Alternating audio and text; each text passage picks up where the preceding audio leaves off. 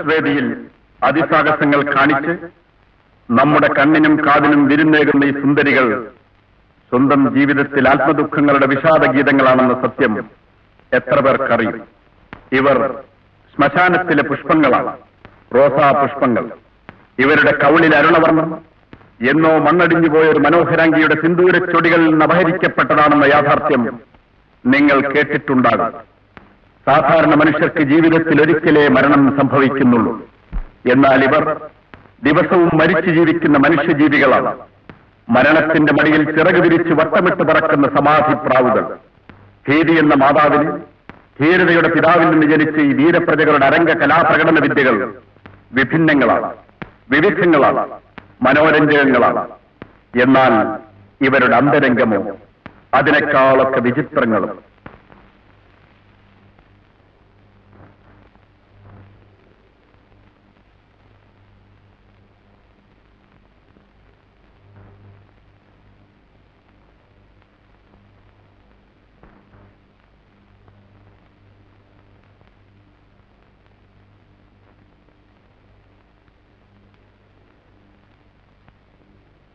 നമസ്കാരം.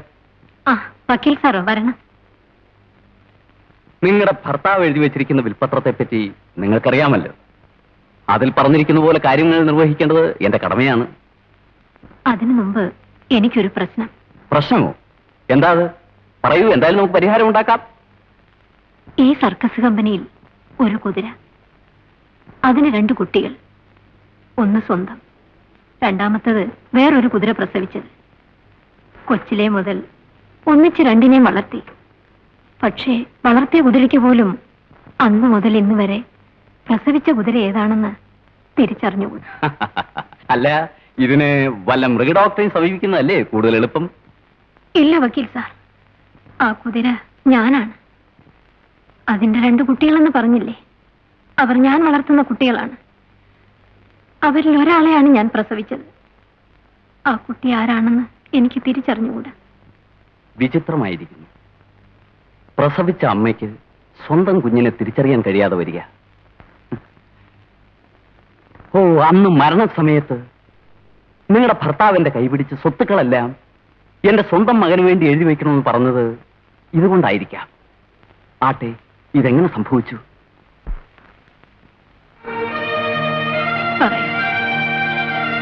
ഇരുപത്തഞ്ച് വർഷങ്ങൾക്ക് മുമ്പ് അയ്യോ. അയ്യോ. എനിക്ക് വയ്യേ. ശാന്തി അദ്ദേഹം എവിടെ? അദ്ദേഹം കൗണ്ടറിൽ ഇരിക്കുകയാണ്. ഞാൻ പോയി വിളിച്ചോണ്ട് വരാം. അയ്യോ. അയ്യോ. എനിക്ക് പേടിയാവുന്നു. നീ പോയി ഏതെങ്കിലും ലേഡി ഡോക്ടറെ വിളിച്ചോണ്ട് വാ. ശരി. അയ്യോ. അമ്മേ. ആ, അയ്യോ.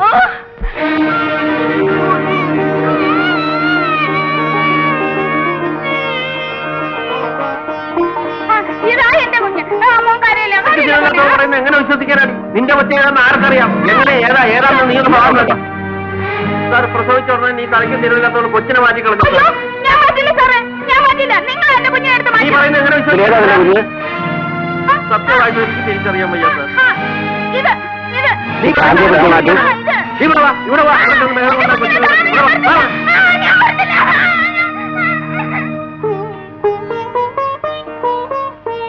മഹേശ്വരി ഏതാണ് നമ്മുടെ കുഞ്ഞ്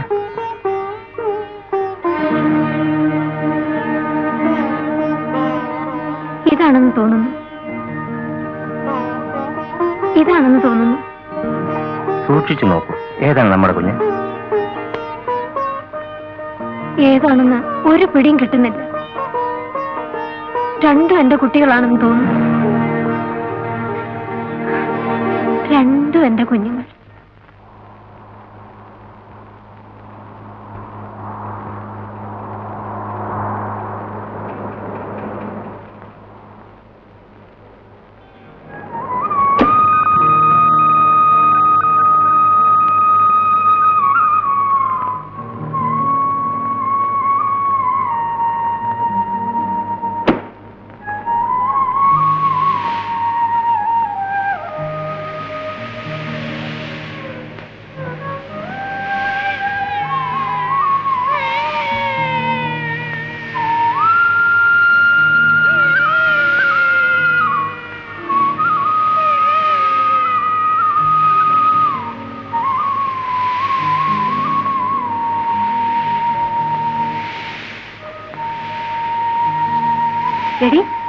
എന്തായി കാണിക്കുന്നത്?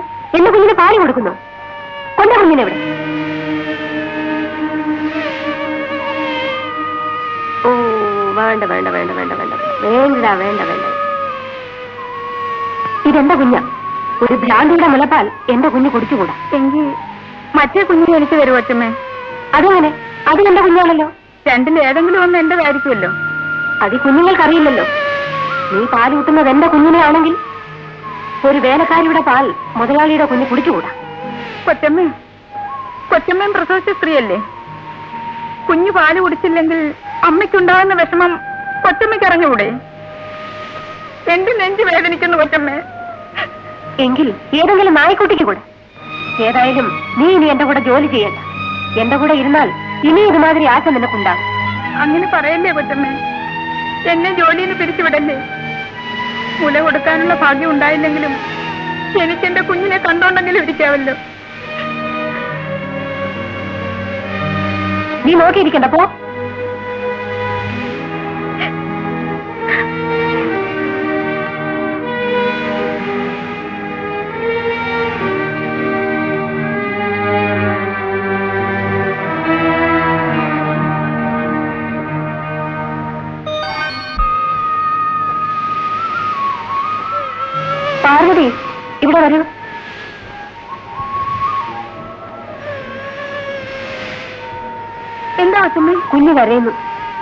പാലില്ല എവിടെങ്കിലും നല്ല പശുമ്പാൽ കിട്ടുമെങ്കിൽ പോയി വാങ്ങിച്ചോണ്ട് വരും.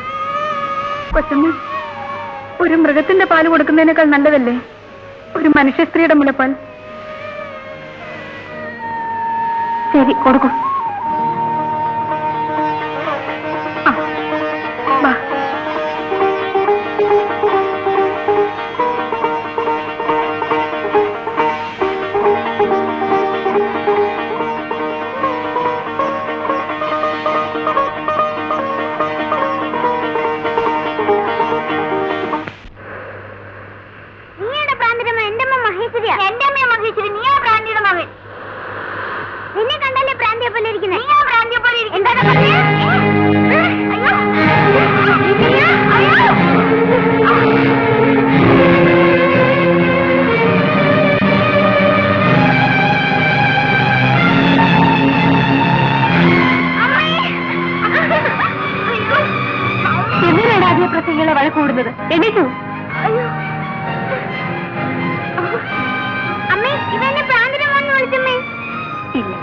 എന്റെ മോന.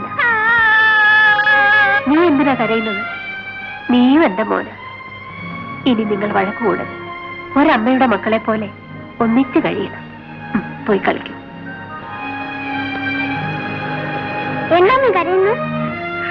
നീ എന്റെ മോനല്ലെന്ന് പറഞ്ഞില്ലേ? ഞാൻ നിങ്ങളുടെ മോനെന്ന് പറഞ്ഞ പിള്ളേരെല്ലാം എന്നെ കളിയാക്കും. അതുകൊണ്ട് ഞാൻ പറഞ്ഞത്. അമ്മേ ഞാൻ അമ്മയുടെ മോനെ അമ്മേ. മോനെ. അതാ രാജു വരുന്നു. രാജുനോട് ഞാൻ അമ്മയുടെ മോനെന്ന് പറയല്ലേ പോയിട്ട് വെച്ചമ്മേ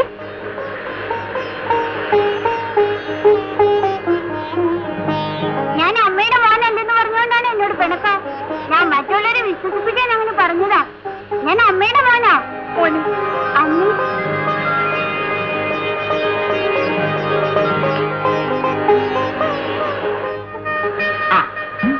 ഈ രണ്ട് കുട്ടികൾ നിങ്ങളുടെ സ്വന്തം കുട്ടി ഏതാണെന്ന് അറിയണമല്ലേ ഈ പൂജോത്സ്യം കൊണ്ട് ഞാനതെ കണ്ടുപിടിച്ചു തരാം മോഹന്റെ റാശി മുല്ല രാജന്റെ റാശി റോസ് ദൈവത്തെ വിചാരിച്ച് ആണിക്കുന്ന ഓരോന്ന് എടുത്തോളൂ. മുല്ല കിട്ടിയാൽ മോഹനാണ് നിങ്ങളുടെ മകൻ. റോസ് കിട്ടിയാൽ രാജൻ. രണ്ടുപേരും എടുത്തോളൂ.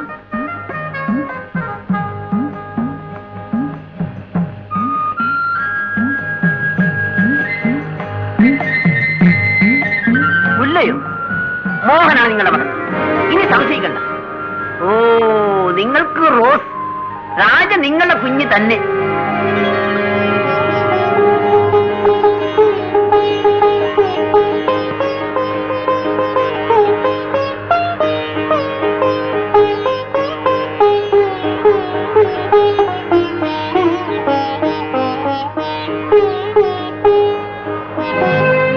രാജ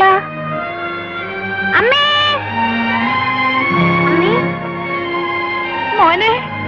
അമ്മേ അമ്മേ. ഈ ദേവനെ പെടുത്തുന്നത് മഹാപാവമാണ്. എനിക്കാണ് ഇവിടെ തെറ്റുപറ്റിയത് ഈ കുട്ടികൾ രണ്ടുപേർക്കും നിങ്ങൾ രണ്ടുപേരും അമ്മമാരാണ്. ഈ ജോത്സ്യമേ തെറ്റാണ്. എനിക്ക് നീ തൊഴിലേ വേണ്ട. സ്വന്തം കൃഷ്ണമണികളെ പോലെയാണ് ഞാൻ രണ്ടുപേരെയും താരാട്ടി ചോറൂട്ടി വളർത്തിയത്. ഇപ്പോ സ്വത്തിനു വേണ്ടി അവരെ പിരിക്കാൻ എനിക്ക് മനസ്സ് വരുന്നില്ല. നിങ്ങളുടെ മനോവിഷമം ഞാൻ മനസ്സിലാക്കുന്നു. പക്ഷെ നിങ്ങളുടെ ഭർത്താവിന് ഞാൻ കൊടുത്ത വാക്കനുസരിച്ച് യഥാർത്ഥ അവകാശിയെ കണ്ടുപിടിക്കേണ്ടത് എന്റെ കൂടി ചുമതലയാണ്. അത് എളുപ്പമാണോ വക്കീൽ സാർ? തീർച്ചയായും. അച്ഛനമ്മമാരുടെ ആകൃതിയും പൊരുത്തവും നോക്കി മനസ്സിലാക്കാവുന്നതാണ്. ഇല്ല വക്കീൽ സാർ. അത്തരത്തിലൊരു സാമ്യം അവർ തമ്മിലില്ല. ആകൃതി സാമ്യമില്ലെങ്കിലും സ്വഭാവ സാമ്യം കൊണ്ട് അങ്ങനെ നോക്കിയാൽ കുഴപ്പങ്ങൾ കൂടുകയുള്ളൂ. എന്റെ ഭർത്താവിന്റെ പ്രത്യേകതകളായ ദേഷ്യം ഭാവം നടത്തമെല്ലാം ഒരു മകനുണ്ട്. മോഹൻ. അപ്പൊ പിന്നെ എന്തിനു സംശയിക്കുന്നു? മോഹൻ തന്നെ നിങ്ങളുടെ സ്വന്തം മകൻ. അങ്ങനെ തീരുമാനിച്ചുകൂടാ. ഈ കുഴപ്പങ്ങൾക്കെല്ലാം കാരണക്കാരിയായ പാർവതിയുടെ സ്വഭാവവും അവനുണ്ട്. അതുകൊണ്ട് അവൻ അവരുടെ മകനെന്നാണോ? ക്ഷമിക്കണം. നിങ്ങളുടെ ഭർത്താവിന് പാർവതിയിൽ അങ്ങോട്ട് മകൻ ഉണ്ടായിക്കൊടുന്നുണ്ടോ? അദ്ദേഹത്തിന്റെ കൂടെ കാൽ നൂറ്റാണ്ടുകാലം ജീവിച്ചവളാണ് ഞാൻ. അദ്ദേഹത്തിന് അങ്ങനെ ഒരു സ്വഭാവ ദൂഷ്യമുള്ളതായിട്ട് എനിക്ക് ചിന്തിക്കാൻ പോലും സാധ്യമല്ല. ഓ ശരി. ആട്ടെ ബുദ്ധിസ്ഥിരതയില്ലാത്ത ആ സ്ത്രീ എവിടെയാണ്? ഞാൻ അവരെ ഒന്ന് സമീപിച്ചു നോക്കട്ടെ. അവളിപ്പോ പുലിക്കൂട് കഴുകുന്നുണ്ടാവും ശരി. ദിവസവും ആഹാരം തരുന്ന എന്നോട് തന്നെ വേണം നീ സ്വഭാവം കാണിക്കാൻ. എടാ കാട്ടിക്കിടന്ന് നിന്നെ ഇവിടെ പിടിച്ചുകൊണ്ടിരുന്ന് രാജോജ്യമായി വളർത്തി മനുഷ്യര് ഇന്ന് ആഹാരമൊക്കെ തന്നപ്പോ നീ മനുഷ്യന്റെ സ്വഭാവം കാണിക്കുന്നു. അല്ലേ? പിടി. നിന്റെ ജോലിശോം നോക്കാൻ അവിടെ സമയമില്ല. വേഗം കൂട് കഴിവ് വൃത്തിയാക്ക്. കൂലി വരാറായി കുട്ടപ്പാ. എന്താ സാറേ? അവളുടെ ഭർത്താവ് ഞാനാ. പിന്നെ അവളുടെ കൊച്ചിനെങ്ങനെ വേറെ അച്ഛനാകുന്നത്? അത് സാധ്യമല്ല. ഇവിടെ അച്ഛന്റെയും അമ്മയുടെയും സ്വഭാവം കണ്ടുകൊണ്ട് മക്കളെ തിരിഞ്ഞു പിടിക്കാനുള്ള ഒരു പരിപാടി നടക്കുന്നുണ്ട്. അത് നടപ്പില്ല. എന്തുകൊണ്ട് പാടില്ല? ഇതിന്റെ മുതലാളിയുടെ സ്വഭാവമുള്ള മോഹനാ അവരുടെ മകൻ. മോഹന്റെ തൊഴിലാളിയുടെ ഗുണമുണ്ടല്ലോ. സ്വല്പം കണ്ടേക്കാം. അല്പ സ്വല്പോ ഈ മോഹൻ ഇപ്പൊ എവിടെയാണ് സാറിന് അറിയാമോ എവിടാ? ശാന്താശുപത്രിയിലെ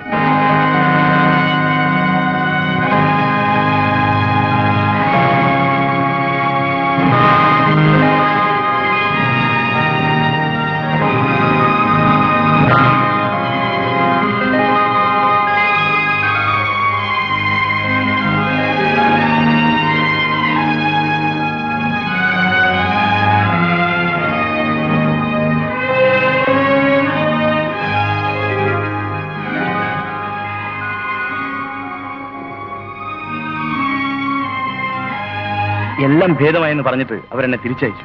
എങ്കിൽ പിന്നെ എന്തിനീ കഴിച്ചങ്ങളാ പൊയ്ക്കോളാൻ പറഞ്ഞ ആ നിമിഷത്തിൽ തന്നെ തിടുക്കത്തിന് ഞാൻ ഇങ്ങോട്ട് പുറപ്പെട്ടു. തിടുക്കത്തിൽ പോന്നതോ അതോ ഒളിച്ചോടി പോന്നതോ? ഭ്രാന്തില്ലെങ്കിൽ പിന്നെ അതിന്റെ സർട്ടിഫിക്കറ്റ് എവിടെ? സർട്ടിഫിക്കറ്റ് വരെ ഞങ്ങൾ സ്കൂളിൽ നിന്നിട്ടാണ് വരുന്നത്? അമ്മ ഇവനോട് പറഞ്ഞാൽ ഇങ്ങനെ ഒന്നും സംസാരിക്കരുത് അമ്മേ ഞാൻ ഒരുപാട് നാളെ ട്രപ്പീസിലാടിയിട്ട് ഇന്നത്തെ ഷോയ്ക്ക് ഞാനാണ് ട്രപ്പീസിലാടുന്നത് വേണ്ട മോനെ. നീ അന്ന് ആടിയപ്പോ നടന്ന അത്യാഹിതം മറന്നു? ഇല്ലമ്മേ എനിക്ക് കുഴപ്പങ്ങളൊന്നുമില്ല. എനിക്ക് രണ്ട് ആഗ്രഹങ്ങളേ ഉള്ളൂ. ഒന്ന് ട്രപ്പീസിലാടണം പിന്നെ നിങ്ങൾ പറയുന്ന പോലെ എനിക്ക് ഭ്രാന്തില്ലാന്ന് തെളിയിക്കണം. ഒന്ന് സമ്മതിക്കൂ അമ്മേ? പ്ലീസ് ശരി സൂക്ഷിച്ചു വേണം. അമ്മേ.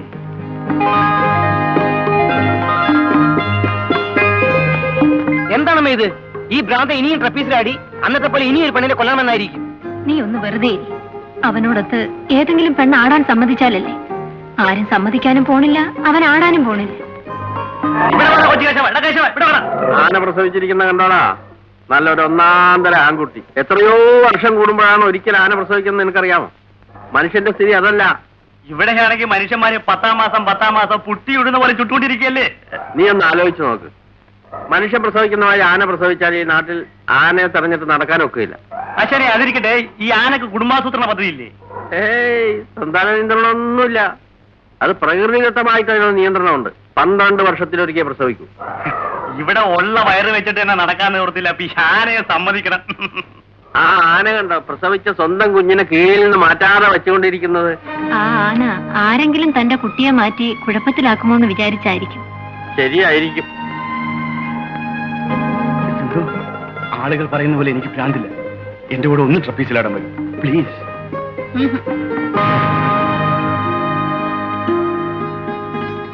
രജനി നീയെങ്കിലും എന്റെ കൂടെ വരും. പ്ലീസ്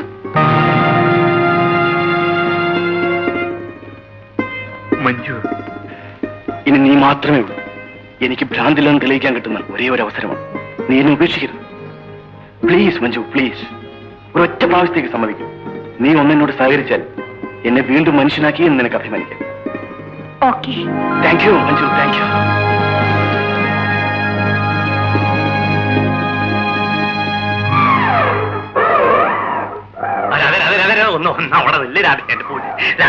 അയ്യോ. മഞ്ജു? എന്തോ? അറിയാതെ ചോദിക്കുകയാണ്. നിനക്ക് ജീവിക്കണമെന്ന് ആശയില്ലേ? കൊള്ളാമല്ലോ നിങ്ങളോട് ആശയില്ലെന്നാണോ എങ്കിൽ പിന്നെ ആ മോഹനോടത്തെ ട്രപ്പീസിലാടാൻ തീരുമാനിച്ചത്? ഓ അതോ? കരയുന്ന കുഞ്ഞിനെ അമ്മ കൊഞ്ചിക്കുമ്പോൾ മടിയിലിരിക്കുന്ന കരയും കരയുമെന്ന് കേട്ടിട്ടുണ്ട്. ആട്ടെ രാജനന്ദ അതിലൊരു അസൂയ? എനിക്കെന്തിനസൂയ? നീ അപകടം വലിച്ചു വരുത്തുകയാണെന്ന് ഞാൻ മുന്നറിയിപ്പ് തന്നുവെന്നേ ഉള്ളൂ. ശ്മശാനം കാക്കുന്നവൻ ശവം കണ്ടാ ഭയപ്പെടാറില്ല. അപകടം സർക്കസുകാരുടെ കൂടെ പിറപ്പല്ലേ? സൂക്ഷിക്കണം എന്ന് പറയായിരുന്നു ശരി.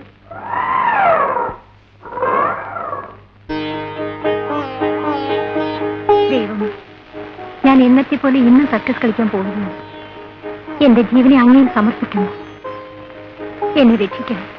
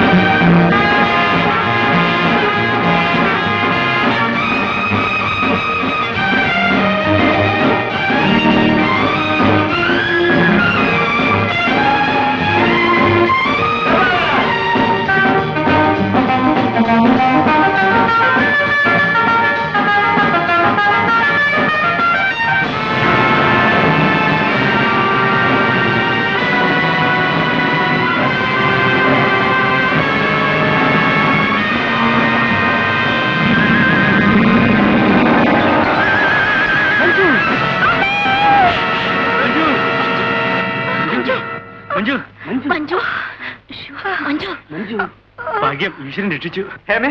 ഹേമേ! അമ്മേ മരിച്ചുപോയ ഹേമയെ ഞാൻ ജീവനോടെ കണ്ടു. മരിച്ചു മണ്ണടിഞ്ഞവളെ നീ എങ്ങനെ കണ്ടെന്ന?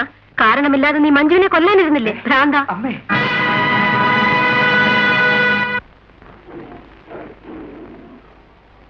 നീ ആഹാരമല്ലേ കഴിച്ചോ? വാ വന്ന് കഴിക്കാം. ഇല്ല ഞാൻ ഒന്നും കഴിക്കത്തില്ല. എന്റെ മോൻ ഏതാണെന്നറിയാതെ ഞാൻ ഇനി ഒന്നും കഴിക്കത്തില്ല. നിനക്കറിയാവല്ലോ എന്റെ കുഞ്ഞിനെ? ഒന്ന് കാണിച്ചു വാ. അത് ഞാനെങ്ങനെ അറിയാനാ? നീ എന്റെ കുഞ്ഞിനെ കൊണ്ടുപോയി മുതലാളിയുടെ കുഞ്ഞിന്റെ കൂടെ കടത്തിയത്. നിനക്കറിയാം എന്റെ കുഞ്ഞിനെ. ആ രണ്ടിലൊന്ന് നിന്റെ കൊച്ചാ പോരെ. അത് ഏതാണെന്നൊന്ന് പറഞ്ഞതാ. ഓഹോ. പിന്നെ എന്ത് ചെയ്യാൻ പോകുന്നു? എന്റെ കുഞ്ഞിനെ ഞാൻ എടുത്ത് വയ്ക്കും എടി ലൂസേ ഒരു മുത്തൊന്നും പറഞ്ഞ് നിന്റെ കുഞ്ഞിന് കിട്ടാൻ പോകുന്ന വലിയ സ്വത്ത് നീ നശിപ്പിക്കരുത് പറഞ്ഞേക്കാം. ഒരു പാവപ്പെട്ടവന്റെ മകനായി ജനിച്ച് പണക്കാരന്റെ അന്തസ്സോടുകൂടി വളരുന്നു. അതിന് അടയാളം കാണിച്ച് നീ നശിപ്പിക്കരുത് പറഞ്ഞേക്കാം. രണ്ടിലെന്നെ പിടി. എന്ത്? ഒന്ന് മോഹൻ ഒന്ന് രാജൻ. രണ്ടിൽ ഏത് പിടിക്കുന്നോ? അതാണ് എന്റെ മോൻ. എനിക്ക് അതിനൊന്നും വലിയ വിശ്വാസമില്ല. നീ ഒന്ന് ഊണ് കഴിക്കേ. ഇല്ല. എന്റെ കുഞ്ഞു വന്ന് എനിക്ക് ചോറ് തന്നാലേ ഞാൻ ഇനി കഴിക്കും. അല്ലാതെ എന്റെ ജീവൻ പോയാലും ഞാൻ ഒന്നും കഴിക്കത്തില്ല. ഓ നീ നിരാഹാരം രക്ഷിക്കാൻ പോയി വന്ന് ഊണ് കഴിക്കടി. എനിക്ക് വേണ്ട. ഓ എന്നാ നീ പോയി തൊലയേ.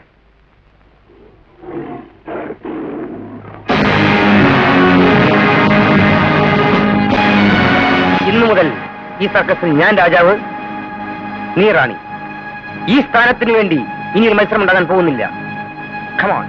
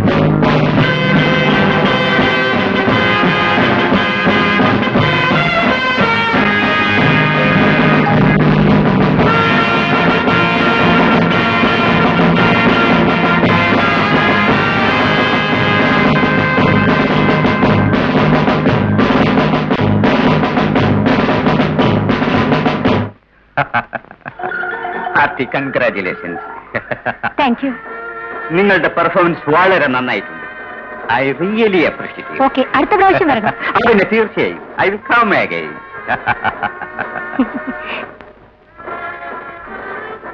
Aravan is my fan എന്റെ ആരാധകനാണ്. എല്ലാ ഷോയ്ക്കും വരും എല്ലാ സ്ഥലത്തും വരും. എങ്കിൽ പിന്നെ അവൻ ആരാധകനല്ല ഭ്രാന്തനാണ്. നിങ്ങൾ വിചാരിക്കുന്നത് പോലെ അയാൾ ഒരു ഭ്രാന്തനല്ല. എന്റെ ആരാധകനാണ്. ഹീസ് മൈ ഫാൻ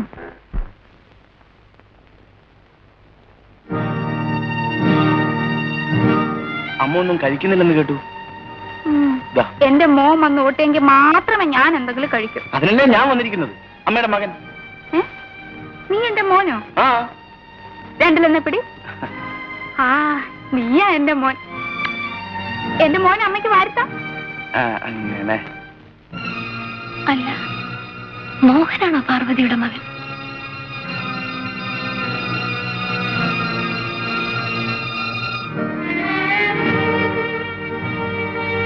അമ്മേ ഭക്ഷണം കൊണ്ടുവന്നിട്ടുണ്ട്.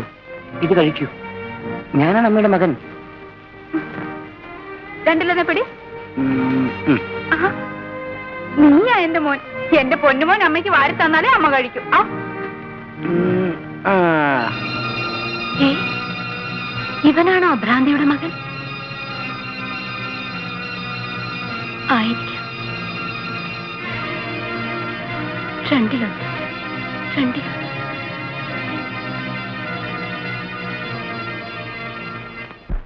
गोरी तेरा गांव बड़ा प्यारा मैं तो गया मारा आके यहाँ उस पर रूप तेरा सादा चंद्रमा जुआ था आधा जवानी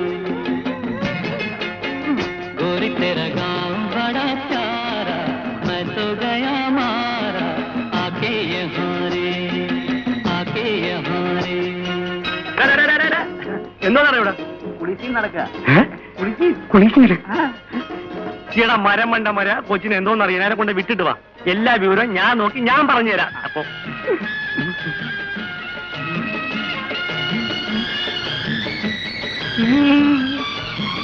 जी करता है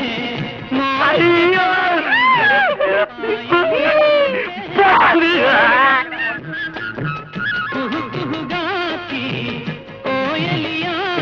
सारी सारी।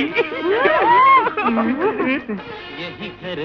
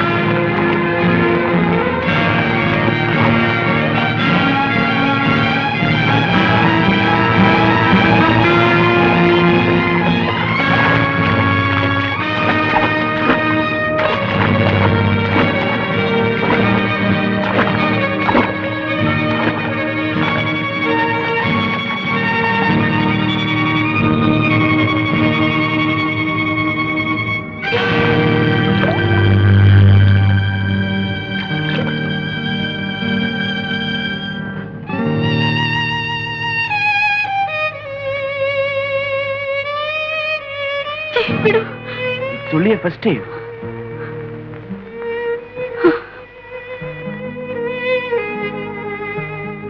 അല്ല മരണത്തിൽ നിന്ന് രക്ഷപ്പെടുത്തിയതിനൊരു നന്ദി വാക്ക് പോലും പറയുന്നില്ലല്ലോ. നിങ്ങൾ ചെയ്തത് ഉപകാരമല്ല ഉപദ്രവമാണ്. ഞാൻ ആത്മഹത്യ ചെയ്യാനാണ് ചാടിയത്. എന്തിനാ ആത്മഹത്യ ചെയ്യുന്നത്? ഞാൻ ജോലി ചെയ്ത് സമ്പാദിച്ചൂട്ടേണ്ട നിലയിലാണ് എന്റെ കുടുംബം. ജോലിക്ക് വേണ്ടി അലഞ്ഞു. കിട്ടിയില്ല. ജോലി കിട്ടാതെ വീട്ടിൽ ചെന്നാൽ പട്ടിണിയിൽ മരിക്കേണ്ടി വരും. അതുകൊണ്ട് ആത്മഹത്യ ചെയ്യാമെന്ന് വിചാരിച്ചു. ചാടി. ഞാൻ നിങ്ങൾക്ക് ജോലി തരാം. താങ്ക് യു സർ എന്ത് ജോലിയാണെന്ന് ചോദിച്ചില്ലല്ലോ. എന്ത് ജോലിയാണെങ്കിലും ശരി. ഞാൻ ചെയ്യാൻ തയ്യാറാണ് സർ മരിക്കുന്ന ജോലി. ദിവസവും മരിച്ചു മരിച്ച് ജീവിക്കുന്ന ജോലി. ഞാൻ സർക്കസിൽ ട്രപ്പീസ് ആടുന്നവനാണ് എന്റെ കൂടെ ആടാൻ ഒരു പെണ്ണ് വേണം. ട്രപ്പീസ് ആടുന്നത് മരണത്തിന്റെ മടിയിലാടുന്ന പോലെയാണ്. സമ്മതമാണ്? സമ്മതമാണ്. പക്ഷേ എനിക്ക് ട്രിപ്പിൾ സഡൻ അറിയില്ലല്ലോ. അതിനെന്താ? പഴക്കം കൊണ്ട് ശരിയാകും. പിന്നെ ഞാൻ സർക്കസിൽ കത്തി എറിയുന്നവനാണ്. കത്തി എറിയുമ്പോൾ എതിരിലൊരു പെണ്ണ് നിൽക്കണം. അതിന് പഴക്കം വേണ്ട ധൈര്യമാണ് വേണ്ടത്.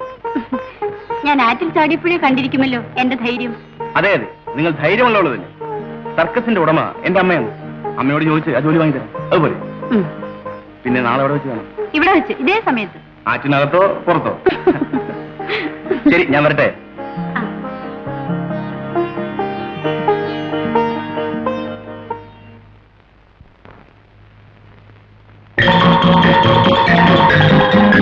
പേടിപ്പിച്ചു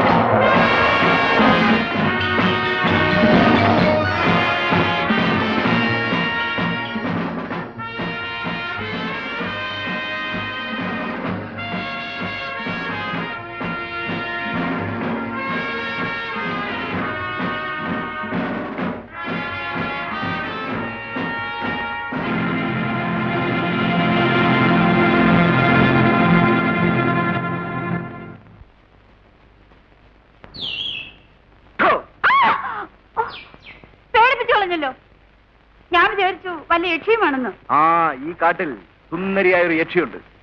സുന്ദരിയായ യക്ഷിയോ? എവിടെ? ഇതായി ഈ നിൽക്കുന്നത് തന്നെ.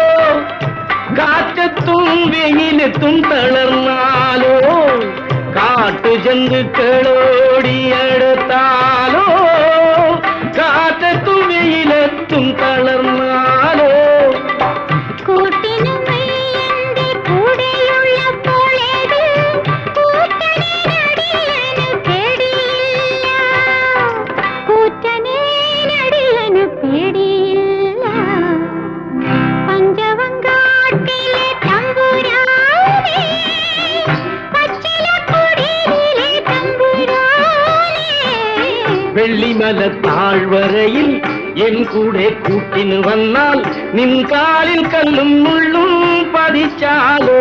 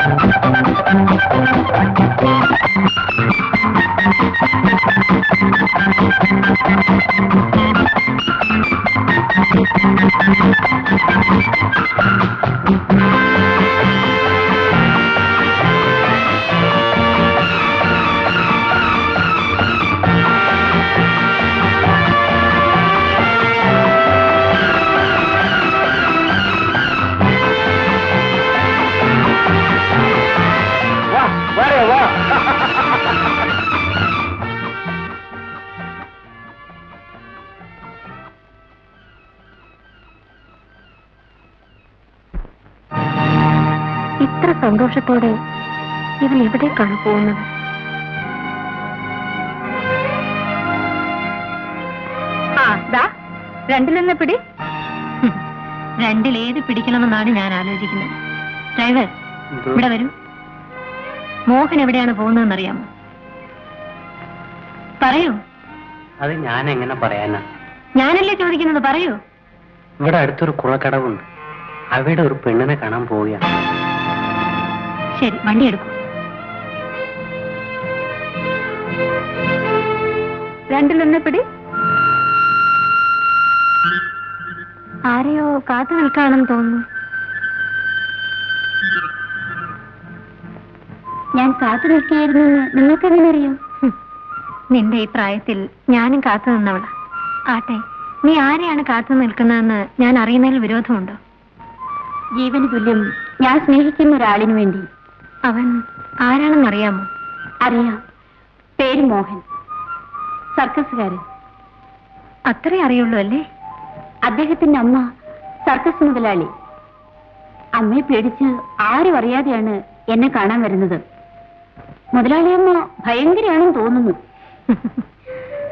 എന്നെ കണ്ട എന്തു തോന്നുന്നു? സ്നേഹമുള്ളൊരു അമ്മയെ പോലെ തോന്നുന്നു.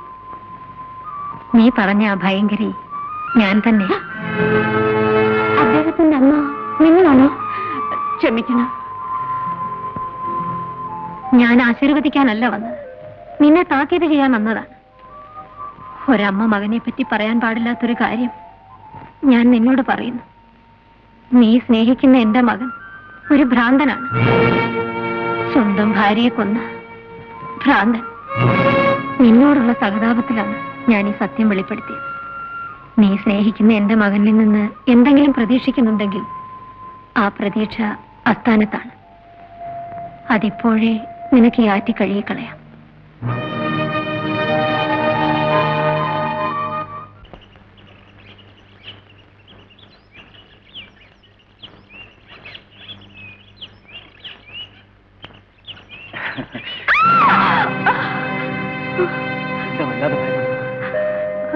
ഞാൻ നിങ്ങളുടെ അമ്മയെ ഇവിടെ വെച്ച് കണ്ടു.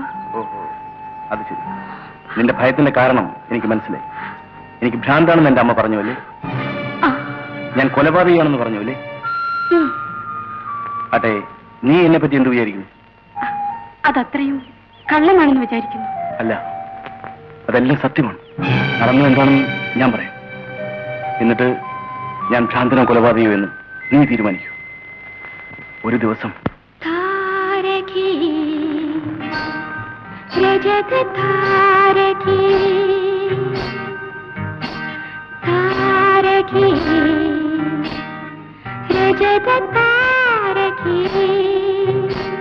നിന്റെ സഞ്ചാര പഥങ്ങൾ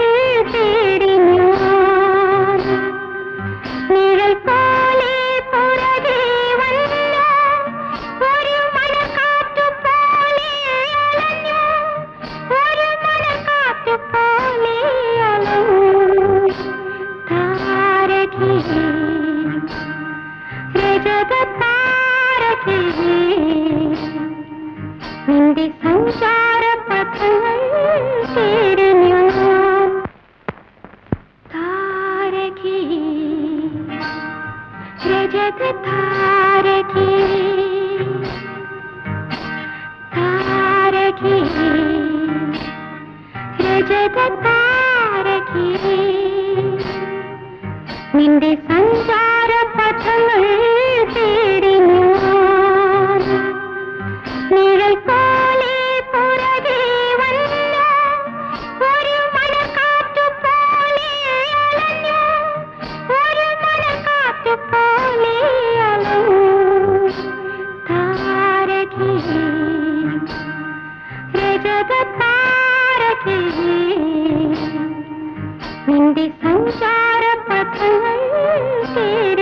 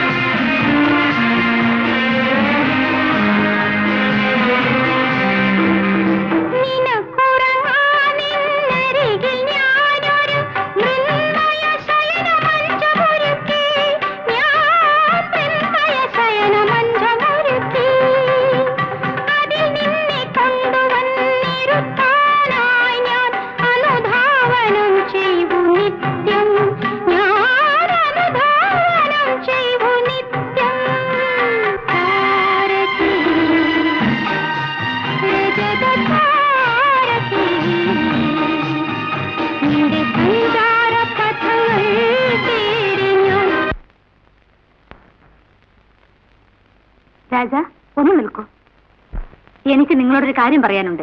വളച്ചൊടിച്ച് സംസാരിക്കാനൊന്നും ഞാൻ ഇഷ്ടപ്പെടുന്നില്ല. നിങ്ങൾ എന്നെ സ്നേഹിക്കുന്നുണ്ടോ ഇല്ലയോ? മോഹൻ നിന്നെ സ്നേഹിക്കുന്നു എന്നുള്ള സത്യം നിനക്കറിയില്ലേ? അറിയാം. എനിക്ക് മോഹൻ ഒരു പ്രശ്നമല്ല. ഞാൻ സ്നേഹിക്കുന്നത് രാജനെയാണ്. വണ്ട് പൂവിനെ ചുറ്റി വരുന്നത് വെറുതെ അല്ല. അതുപോലെ ഞാൻ നിന്നെ തേടി വരുന്നത്. പിന്നെ എന്തിനാണ് രാജൻ എന്നിൽ നിന്ന് അകന്നു നിൽക്കുന്നത്? എന്നെ ആത്മാർത്ഥമായി സ്നേഹിച്ചുകൂടെ? നിന്റെ സ്നേഹം മഞ്ഞുകാലത്ത് തീ കഴിയുന്നത് പോലെയാണ്. കൂടുതൽ അടുത്തു പോയാൽ പൊള്ളും. അകന്നിരുന്നാൽ തണുത്തു വറയ്ക്കും സ്നേഹത്തിന്റെ ചിതയിൽ വീണു മരിക്കുന്നതാണ് ജീവിതത്തിലെ ഏറ്റവും വലിയ സുഖം. ചിലപ്പോൾ നിനക്ക് മറ്റൊരുത്തിനെ വിവാഹം കഴിക്കേണ്ടി വന്നാൽ നീ എന്തു ചെയ്യും? അങ്ങനെ സംഭവിച്ചാലും ഞാൻ മനസ്സുകൊണ്ട് നിങ്ങളുടെ ഭാര്യയായിരിക്കും. നിങ്ങൾ എന്റെ ഭർത്താവും. ഒരു പക്ഷേ സമുദായം എന്നെ കുറ്റപ്പെടുത്തിയേക്കാം. ഞാനത് കണക്കാക്കുന്നില്ല. നിന്റെ ധീരതയെ ഞാൻ അംഗീകരിക്കുന്നു. പോരാ. എന്റെ മനസ്സും നിങ്ങൾ അംഗീകരിക്കേണ്ടി വരും.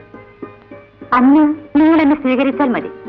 കാരണം നിങ്ങൾക്ക് വേണ്ടിയുള്ള ആ കാത്തിരിപ്പ് പോലും എനിക്ക് സുഖമാണ്.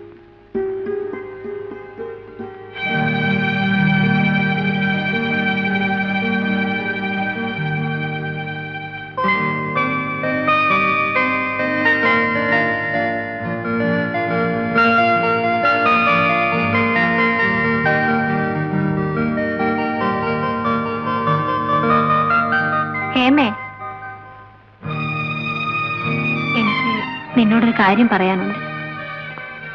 വിവാഹം എത്രത്തോളം നീട്ടിക്കൊണ്ടു പോന്നോ അത്രത്തോളം ആണുങ്ങൾ ബുദ്ധിമാന്മാർ.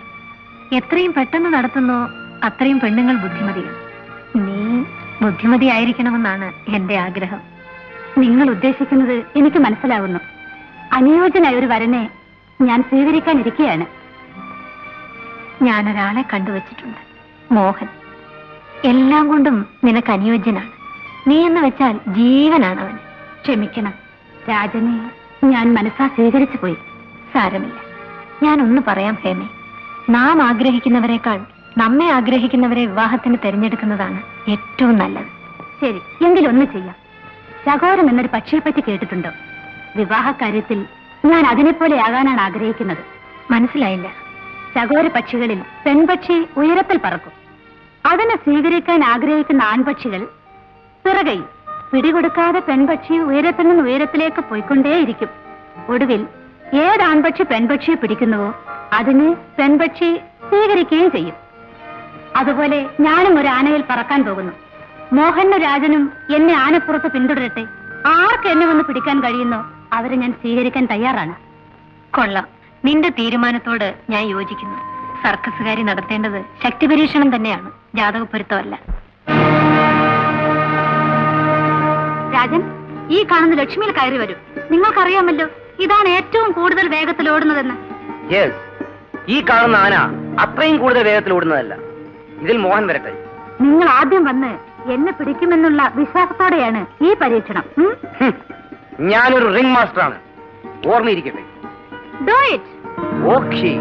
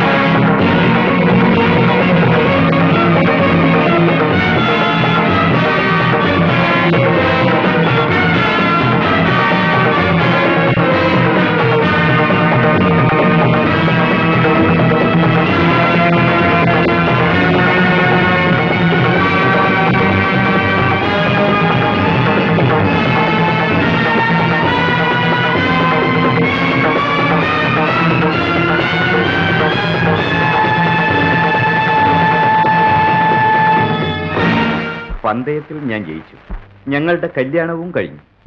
ആദ്യ രാത്രിയിൽ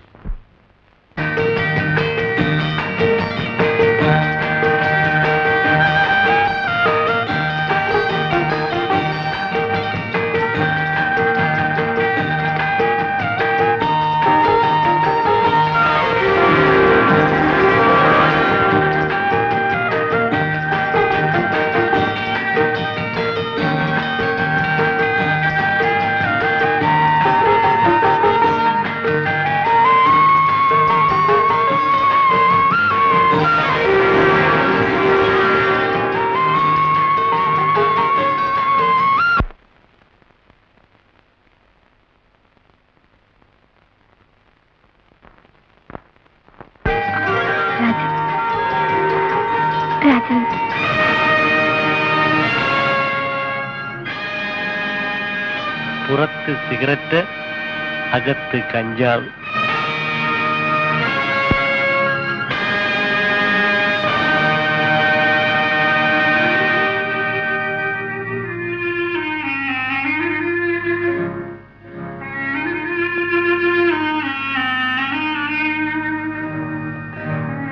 കയ്യിലെന്താ? സിഗരറ്റ്. പുറത്ത് സിഗരറ്റ് അകത്ത് കഞ്ചാവ്. ഇന്നലെ ഞാൻ പഠിച്ച പാഠം.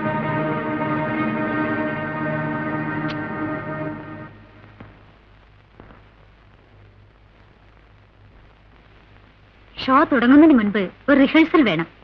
അതിന് തന്നെ ഞാനും കാത്തിരുന്നത്. ഓക്കെ.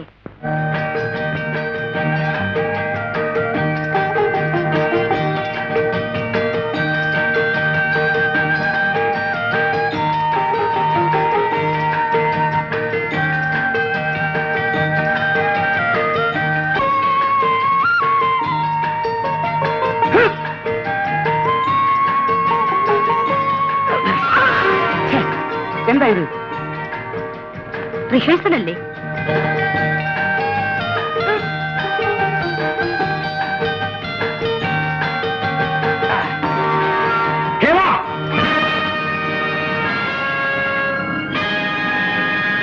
നീ എന്റെ ഭാര്യയാണെന്നുള്ള മറന്നു അല്ലേ? മറക്കാതിരിക്കാനാണല്ലോ ഈ താലി? ഈ താലിയും അണിഞ്ഞുകൊണ്ടുള്ള നിന്റെ കാമലേലികൾ ഞാൻ കാണുകയായിരുന്നു. ഇത് കാമലേലിയല്ല സർക്കസ് റിഹേഴ്സലാണ് റിഹേഴ്സലിന്റെ പേരിലുള്ള റിഹേഴ്സലാണ് നിനക്ക് ഇപ്പോഴും അവനോട് സ്നേഹമാണ് അടുപ്പമാണ്. അതെ എനിക്ക് അയാളുടെ സ്നേഹം തന്നെയാണ്. എനിക്ക് അയാളെ മറക്കാൻ പറ്റില്ല. ഞാൻ എന്ത് വേണമെന്നാ പറയുന്നത്? എന്താണ് ഈ പറഞ്ഞേ? ഷോയ്ക്ക് സമയമായി.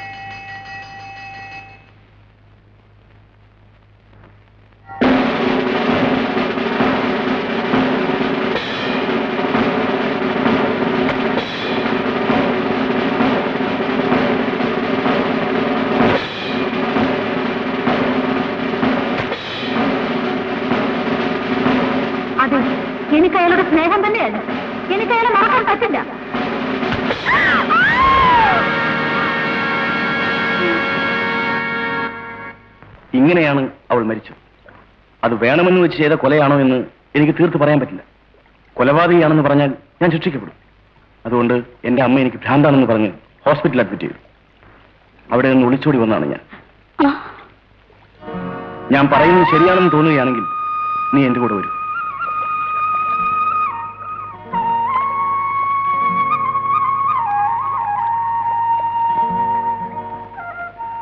എനിക്കറിയാം. ഇത്രയും അറിഞ്ഞതിന് ശേഷം ഒരു സ്ത്രീ ഒരു പുരുഷന്റെ കൂടെ വരുമെന്ന് വിചാരിക്കുന്നതാണ് യഥാർത്ഥ ഭ്രാന്ത്. ശരി. മോഹൻ.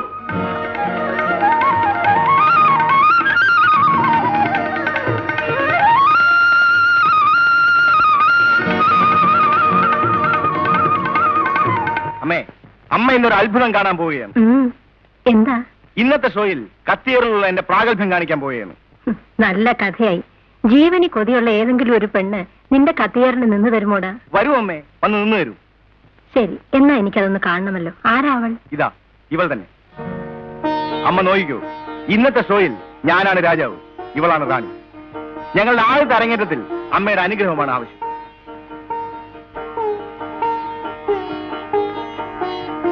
സിന്ധു മോഹനെ കുറിച്ച് ഞാൻ ചിലതെല്ലാം നിന്നോട് പറഞ്ഞിട്ടുണ്ടെന്നല്ലാതെ എല്ലാം പറഞ്ഞിട്ടില്ല. അവന് തലയ്ക്ക് ഭ്രാന്താണെന്ന് മാത്രമല്ലേ നിനക്കറിയാവൂ? അല്ല. ഭ്രാന്തെടുത്ത് ഭാര്യയെ കൊന്നവനാണെന്ന് അന്ന് തന്നെയല്ലേ എന്നോട് പറഞ്ഞത്? അത് മാത്രം അറിഞ്ഞാ പോരാ. എങ്ങനെ കൊന്നു കൂടി അറിയണം. അത് അദ്ദേഹം എന്നോട് പറഞ്ഞിട്ടുണ്ട്. കത്തി എറിഞ്ഞു കൊന്നതാണെന്ന്. ശരി ഉടുത്തിരിക്കുന്നത് അങ്ങോട്ട് അഴിച്ചു മാറ്റും. വസ്ത്രങ്ങൾ അഴിച്ചു മാറ്റാനോ എന്തിനാ? സർക്കസിന് ധരിക്കേണ്ട വസ്ത്രം ഇതല്ല. ഇങ്ങോട്ട് നോക്കൂ ഇതുപോലെ ധരിക്കണം. അതെന്തിനാ? ഇങ്ങനെ നഗ്നമായിട്ട്? ഇത് നഗ്നതയല്ല. അമ്പലത്തിലെ പൂജാരി പോലും ഒറ്റ തോത്തുമുണ്ട് ഉടുത്തിട്ടാണ് പൂജ ചെയ്യാറ്. അതിനെ നഗ്നത എന്ന് പറയുമോ? അതുപോലെ സർക്കസിന്റെ സൗകര്യത്തിന് വേണ്ടി ഇങ്ങനെ ഡ്രസ് ചെയ്യുന്നതന്നേ ഉള്ളൂ. പ്ലീസ് ഡ്രസ്അപ്പ്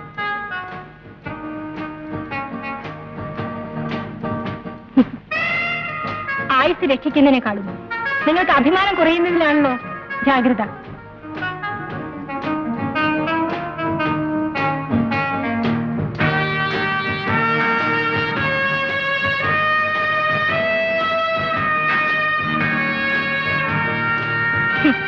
എന്തൊരു വിധി തൂക്കിക്കൊല്ലാൻ വിധിച്ചവനെ പോലും രണ്ട് കണ്ണും കെട്ടിയിട്ടാണ് കൊല്ലുന്നത്.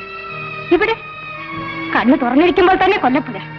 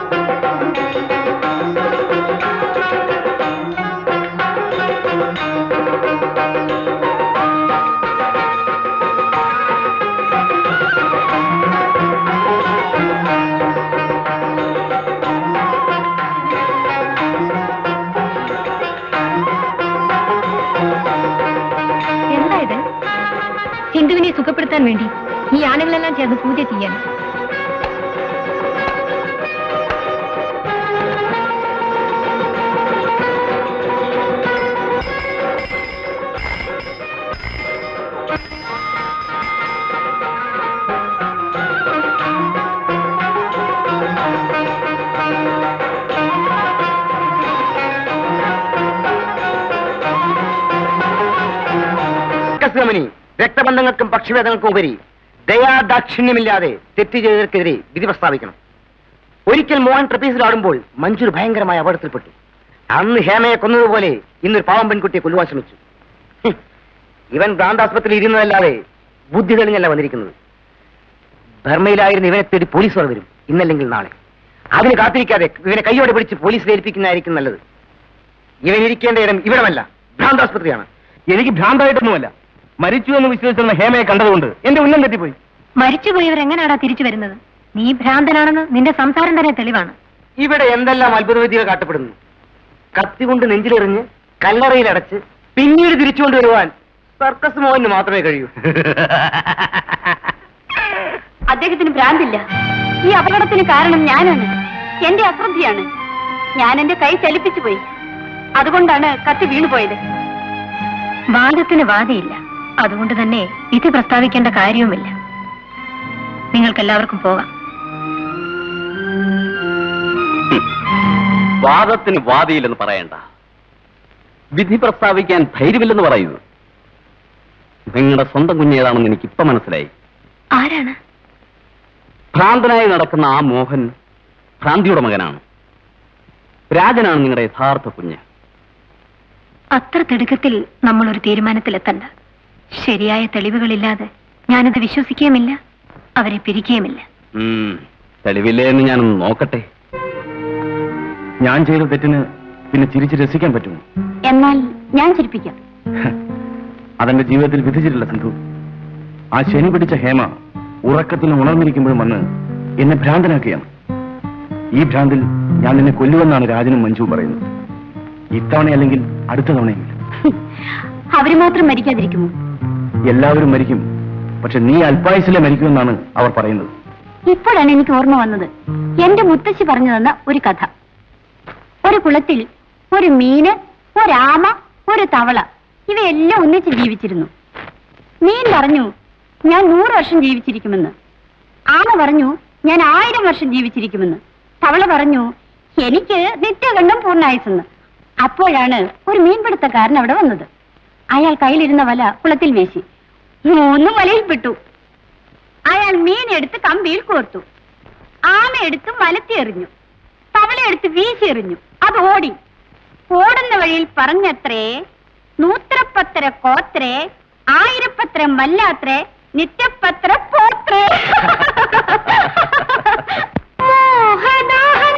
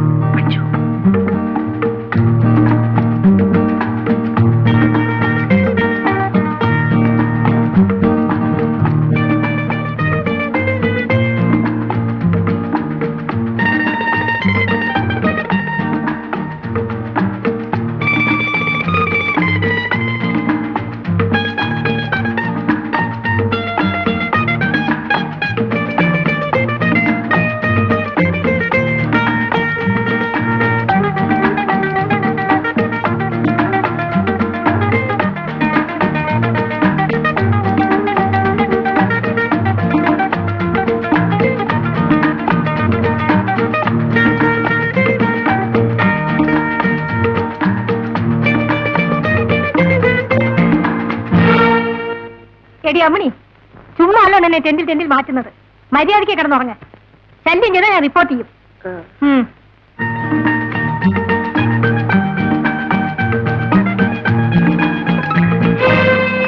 എടി അമ്മണി എന്താടി മഞ്ജു? നിനക്ക് എന്ത് പറ്റി? ഒന്നും ചെയ്തില്ലല്ലോ. മര്യാദയ്ക്ക് കിടന്നുറങ്ങ. പണ്ടാരം അടങ്ങാൻ ശല്യമായല്ലോ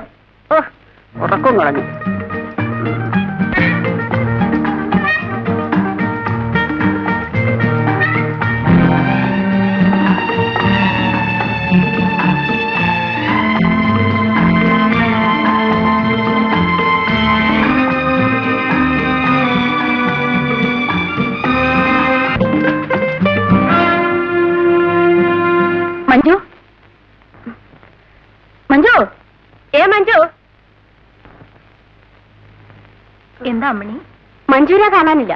ഇതുവരെ എന്റെ കൂടെ കിടന്ന് ഉറങ്ങുകയായിരുന്നു. അവൾ ബാത്റൂമിൽ എവിടെയെങ്കിലും കാണും. പോയി നോക്കൂ.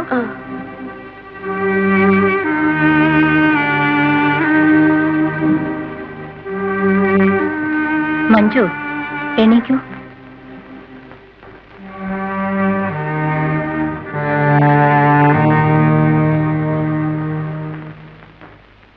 ഇങ്ങനെ താഴെ പോകുന്നത് തെറ്റാണ് കുട്ടി. ഉറങ്ങുമ്പോൾ അറിയാതെ താഴെ വീണു പോയതാ. നമ്മൾ സർക്കസുകാരാ. നമ്മൾ ഇങ്ങനെ ഉറങ്ങിക്കൂടാ. നയങ്ങിക്കൂടാ എനിക്കും നിന്നെപ്പോലെ ചെറുപ്പത്തിൽ ഉറക്കഭ്രാന്തായിരുന്നു. മയക്കമായിരുന്നു. ആ മയക്കത്തിലാണ് ഞാൻ അദ്ദേഹത്തെ വിവാഹം കഴിച്ചത്. എന്നിട്ട് എന്ത് സംഭവിച്ചെന്നറിയാമോ? സർക്കസ് അപകടത്തിൽ അദ്ദേഹം മരിച്ചു. ഞാൻ വിധവയുമായി. മോഹനും ഹേമയോട് ഇതുപോലൊരു മയക്കമുണ്ടായിരുന്നു. വിവാഹം ചെയ്തു കൊടുത്തു എന്നിട്ടോ അവൾ പ്രേതമായി മാറി. അവന് ഭ്രാന്ത്. അതുകൊണ്ടാണ് കുട്ടി ഞാൻ പറയുന്നത്. നിനക്ക് ഈ മയക്കം വേണ്ട. അത് പാടില്ല. നിന്നോട് മാത്രമല്ല. ഇവിടെയുള്ള എല്ലാ പെൺകുട്ടികളോടും എനിക്കിതാണ് പറയാനുള്ളത്.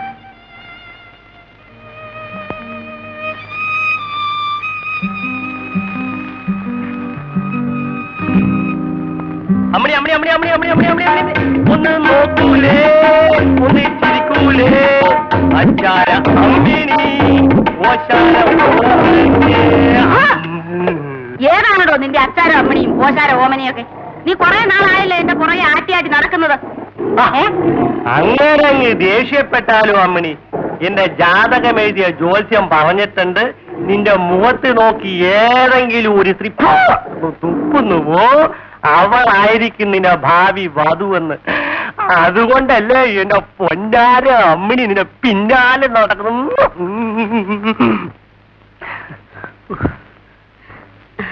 ചേട്ടൻ എന്തൊരു സുന്ദരനാണെന്നോ? ഞാൻ ചീത്ത പറഞ്ഞതൊക്കെ ചുമ്മാതല്ലേ? പിന്നെ ജോത്സ്യം പറഞ്ഞപടി നമുക്ക് ഭാര്യ ഭർത്താക്കന്മാരാകാൻ പറ്റില്ലല്ലോ.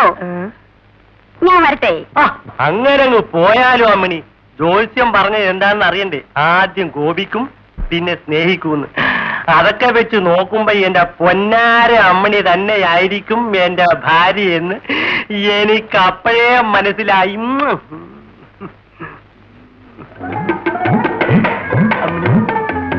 അമ്മിണി. റോസാപ്പ് പോലത്തെ കവിളുകളും ചെമ്പരത്തി പോലത്തെ ചുണ്ടുകളും കാണുമ്പോൾ എനിക്കൊരു വല്ലാ ഇങ്ങനെ പോയാൽ എങ്ങനെ സ്വന്തം കുഞ്ഞിനെ കണ്ടുപിടിക്കാനാ? ഒരുമിച്ച് വളർത്തിയ കുട്ടികളെ ഞാൻ തന്നെ പിരിക്കണമെന്ന് ആലോചിക്കുമ്പോ നിങ്ങളുടെ നല്ല മനസ്സ് ഞാൻ കാണുന്നു. പക്ഷേ ഞാനൊരു വക്കീലാണ്.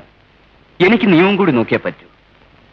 നിങ്ങളുടെ ഭർത്താവിന്റെ വിൽപത്രം അനുസരിച്ച് സ്വന്തം മകനെ കണ്ടുപിടിച്ച് സ്വത്ത് ഏൽപ്പിച്ചേ പറ്റൂ. എനിക്കൊരു യുക്തി തോന്നുന്നു. സ്വത്ത് രണ്ടായി ഭാഗിച്ച് രണ്ടുപേർക്കും കൊടുത്താലോ? അതിന് നിയമം അനുവദിക്കുന്നില്ലല്ലോ. യഥാർത്ഥ മകനെ വേഗം കണ്ടുപിടിച്ചേ പറ്റൂ. ഇല്ലെങ്കിൽ ഈ വമ്പിച്ച സ്വത്ത് ആർക്കും ഇല്ലാതാവും. അമ്മ വിളിച്ചു. ആ വന്നോ. ഇന്ന് നിങ്ങളുടെ പിറന്നാളാണെന്ന് പറഞ്ഞത് മറന്നുപോയോ? അമ്മ രണ്ടുപേർക്കും സമ്മാനം വാങ്ങിയിട്ടുണ്ട്.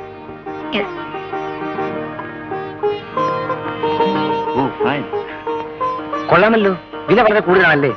അതെ വില അധികം തന്നെ. പക്ഷേ രണ്ടിനും ഒരേ വിലയാണ്. ഒരു വ്യത്യാസവും ഇല്ല ആ പോയി ഡ്രസ് മാറ്റിട്ട് വരും. അമ്പലത്തിൽ പോയി തൊഴണം. ശരി. ശരി.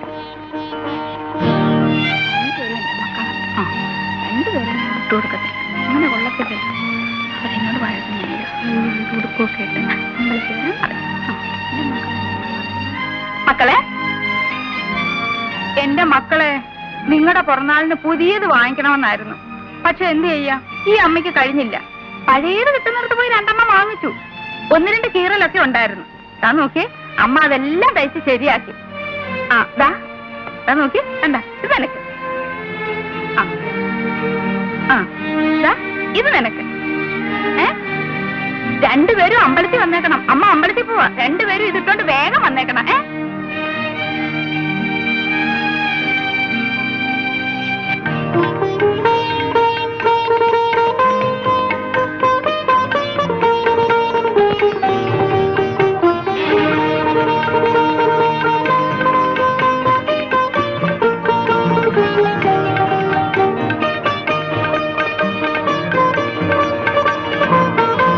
മോനെ വാ മോനെ. ആ എന്റെ മോനെ? അങ്ങോട്ട് നോക്കി തൊഴുക ആ. ശരി അമ്മേ.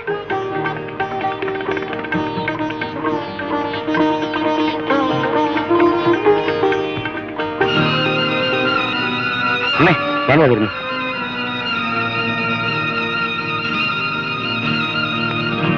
എന്താ അമ്മ എന്നോട് പിണക്കമാണ്? ഒന്ന് തിരിഞ്ഞു നോക്കുന്ന പോലും ഇല്ലല്ലോ. നീ എന്റെ മോനല്ല. ഞാൻ തന്ന ഷർട്ട് നീട്ടോണ്ട് വന്നില്ലല്ലോ. അതാ എന്റെ മോൻ എന്റെ സ്വന്തം മോൻ.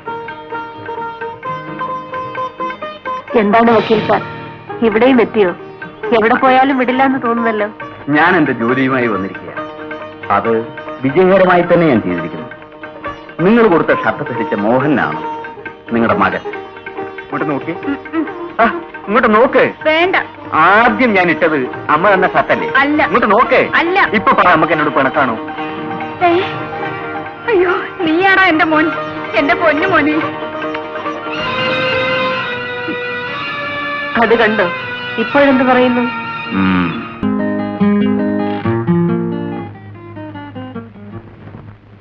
മഞ്ജു ഏ മഞ്ജു എന്താ ഇത്?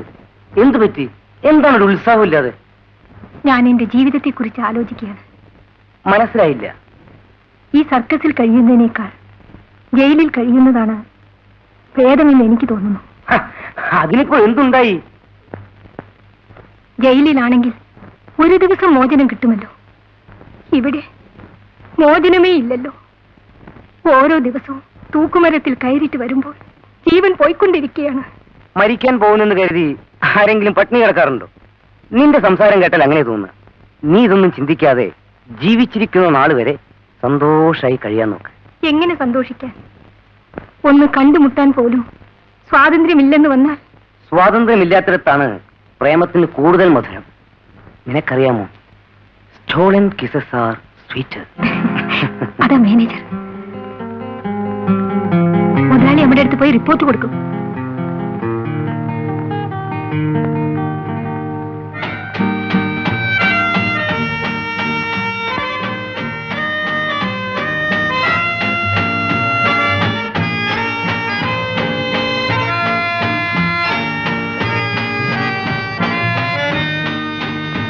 ആ പിന്നെ നിനക്കൊരു സന്തോഷ വാർത്ത കേൾക്കണം. ആ ഇന്ത്യയിലെ ഏറ്റവും വലിയൊരു മഹാൻ മരിച്ചിരിക്കുന്നു. ഓ ഇതിലെന്താ ഇത്ര വലിയ സന്തോഷം? ഇന്ന് ഷോ ഉണ്ടാവില്ല. നമുക്കതുപോലെ സന്തോഷിക്കാൻ ഹാവു ദൈവം രക്ഷിച്ചു. ഇന്നെങ്കിലും ഒന്ന് പുറത്തു പോകാമല്ലോ. ആ എനിക്കൊന്ന് ഷോപ്പിങ്ങിന് പോകണം ഷോപ്പിങ്ങിനോ ഉം. നമുക്കിന്ന് ബീച്ചിലേക്ക് പോകാം. നമുക്കൊന്ന് സൂഹിക്കണ്ടേ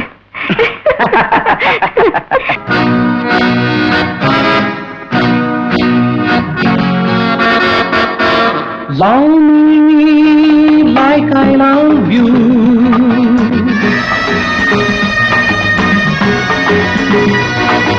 Love me like I love you.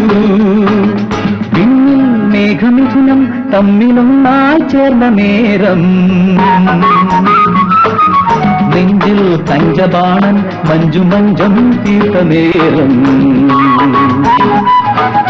വിണ്ണിൽ മേഘമിഥുനം തമ്മിലൊന്നായി ചേർന്ന നേരം. നെഞ്ചിൽ കഞ്ചബാണൻ മഞ്ജുമഞ്ചം തീർത്ത നേരം എന്നിൽ രാഗഭാവം. എന്നിൽ രാഗഭാവം.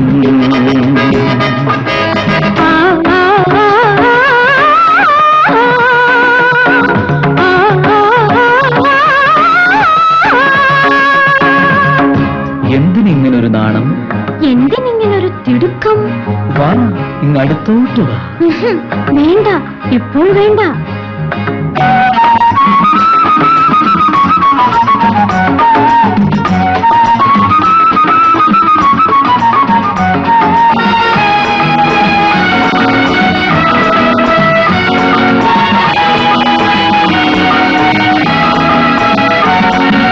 കണ്ണിൽ ഒളി കണ്ണായി നീ പെയ്യും കള്ളനാണം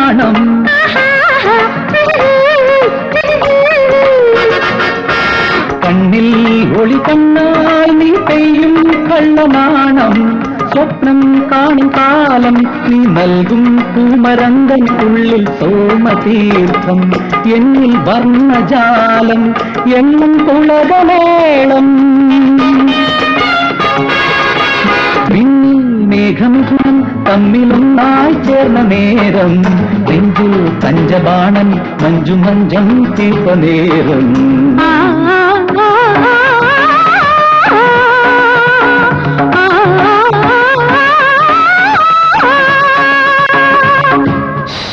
വന്നേ ഒരു രഹസ്യം പറയാം. വേണ്ട. എനിക്ക് പേടിയാ. എനിക്കിനി ദേഷ്യം വരും. ആ? വിടുന്നു വല്ലവരും കാണും.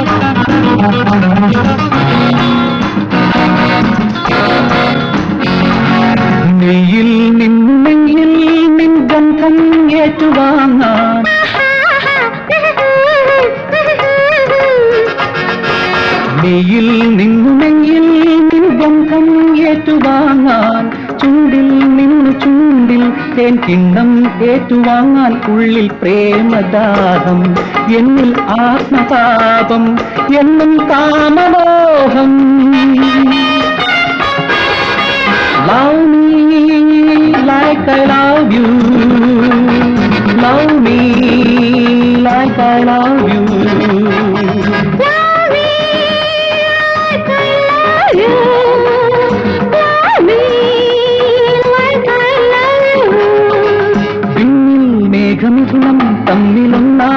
തമ്മിലൊന്നായി നേരം.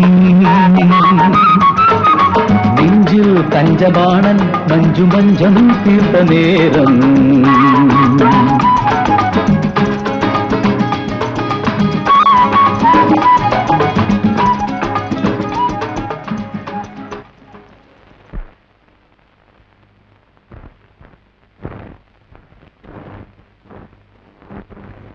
എന്നെ വിളിച്ചു? ഉം. എനിക്കൊരു ജോഡി വേണമല്ലോ. മാനേജർ നിന്നെ വിളിച്ച് എന്നോട് റിഹേഴ്സ് ചെയ്യാൻ പറഞ്ഞു. നിന്നോട് പറഞ്ഞില്ലേ? പറഞ്ഞു. എന്നിട്ട് എന്താ വന്നില്ല? മോഹനോടൊന്ന് ചോദിച്ചിട്ടാകാമെന്ന് കരുതി. അതിന് മോഹനോടൊന്ന് ചോദിക്കാൻ മാനേജർ പറഞ്ഞ സ്ഥിതിക്ക്. ആ പിന്നെ റിഹേഴ്സലിൽ ഈ സാരി ശല്യമായിരിക്കും. ആ അതഴിച്ചു മാറ്റിക്കൊള്ളൂ.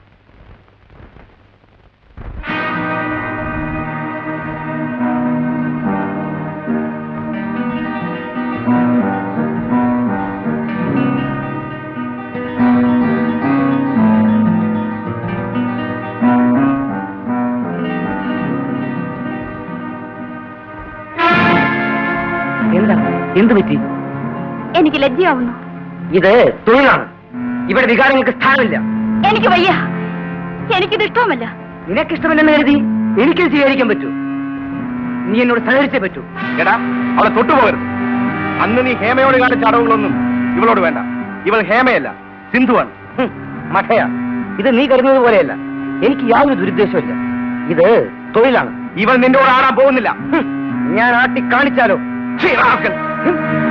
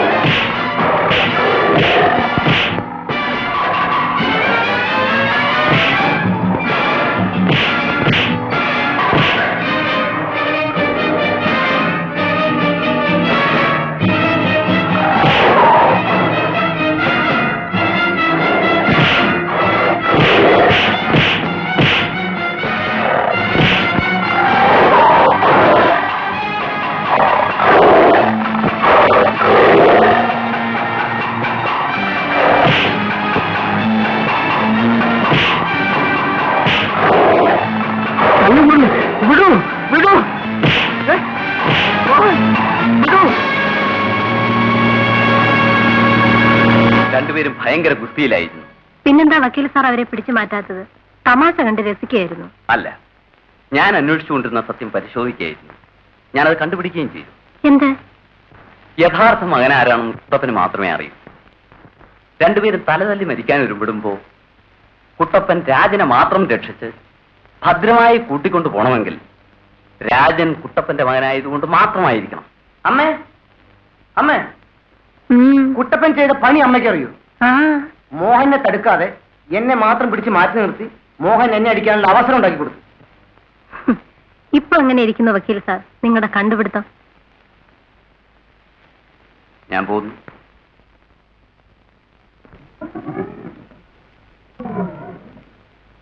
ദേ, ഇങ്ങോട്ട് നോക്കിയേ എന്റെ മകൻ ആരാന്ന് പറഞ്ഞാ മതി.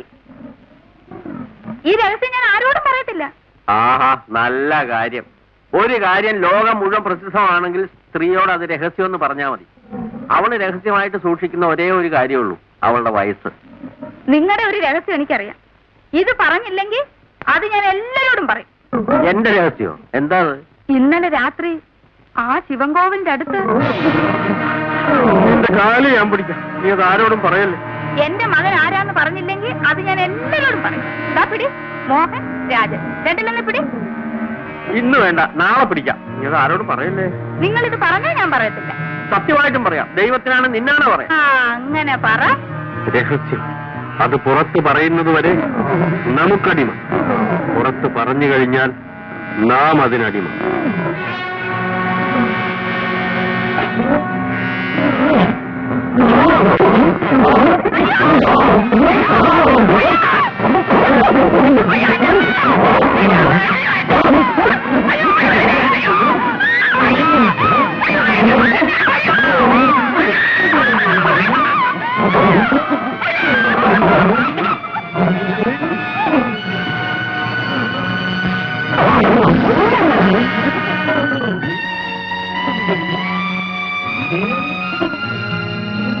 അവളുടെ അശ്രദ്ധയാ. പുലിയുടെ കൂട് തുറന്നെടുക്കുമ്പോ ഇവിടെ വരാൻ എത്ര പ്രാവശ്യം പറഞ്ഞിട്ടുണ്ട്.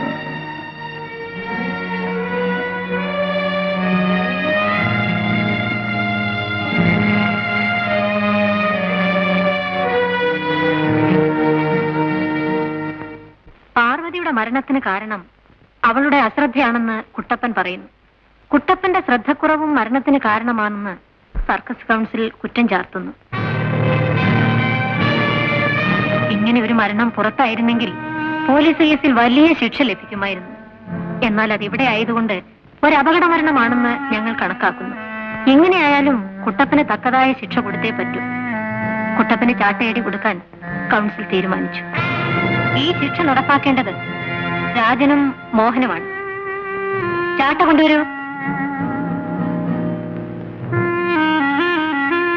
ഞാൻ നിർത്തൂ എന്ന് പറയുന്നത് വരെ നിർത്താതെ അടിക്കണം.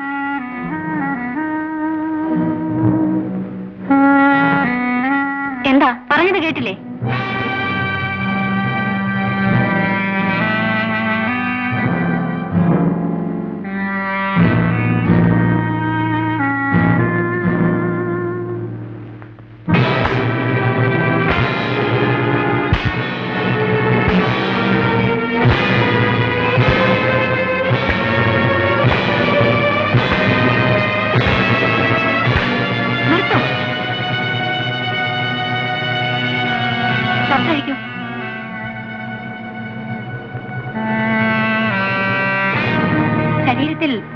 അടിയുടെ ഒരു പോറൽ പോലും ഇല്ലല്ലോ ഓ എന്റെ അടുത്ത് സർക്കസ് കാണിക്കുകയായിരുന്നല്ലേ?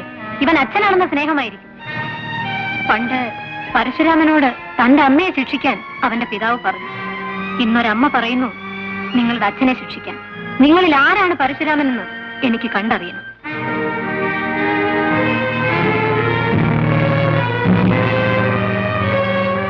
കുട്ടപ്പ ശിക്ഷിക്കാൻ ആളില്ലാതെ വന്നെന്നിരിക്കാം. പക്ഷെ നിനക്ക് ശിക്ഷയിൽ നിന്ന് രക്ഷപ്പെടാനാവില്ല. കണ്ടോ? നിങ്ങൾ പറഞ്ഞ മാതിരി നാടകം നടത്തി. പക്ഷെ നിങ്ങൾ വിചാരിച്ച ക്ലൈമാക്സ് ഉണ്ടായില്ല. ഇങ്ങനെ സ്നേഹത്തിൽ ഒന്നായിരിക്കുന്ന കുട്ടികളിൽ ആരാണ് സ്വന്തമെന്ന് കണ്ടുപിടിക്കേണ്ടത് ആവശ്യമാണ്? ആവശ്യം തന്നെ. എന്റെ സ്നേഹത്തിന് കൊടുത്ത വാക്കിനു വേണ്ടി ഞാൻ സത്യം കണ്ടുപിടിച്ചേ പറ്റൂ.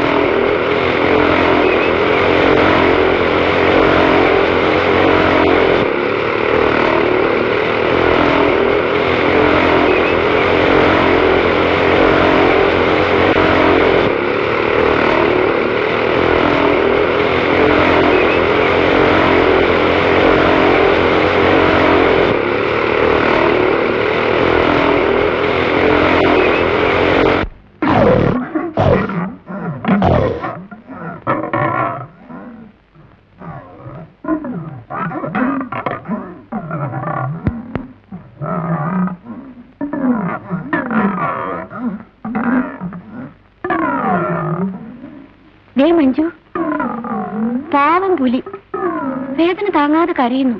ഇന്നത്തേക്ക് മാത്രം. നാളെ അതിനെ വെടിവെച്ച് കൊല്ലും. അതിന്റെ കാലിലെ ആണി എടുത്തു കളഞ്ഞാൽ മതിയല്ലേ? ഭ്രാന്ത് പിടിച്ച പുലിയുടെ അടുത്ത്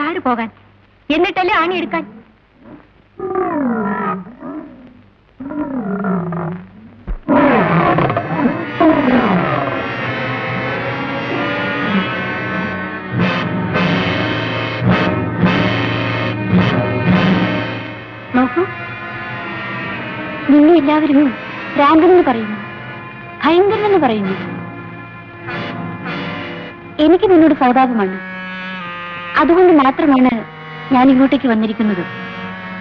പക്ഷേ മറ്റുള്ളവർക്ക് എന്നോട് സഹതാപം തോന്നത്തക്ക വിധത്തിൽ നീ എന്നോട് പെരുമാറരുത്.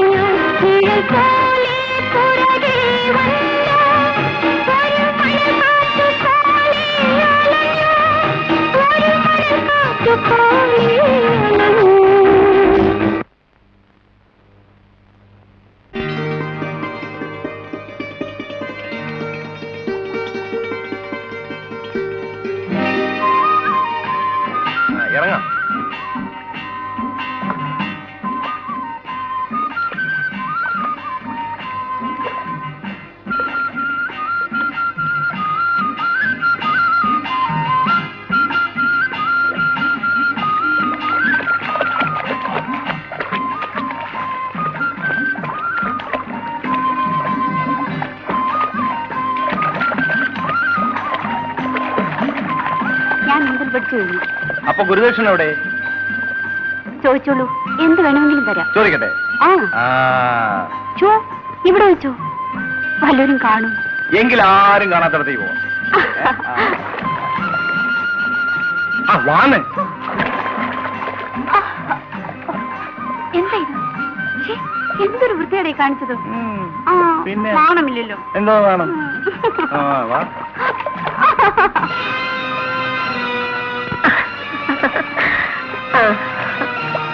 മതി.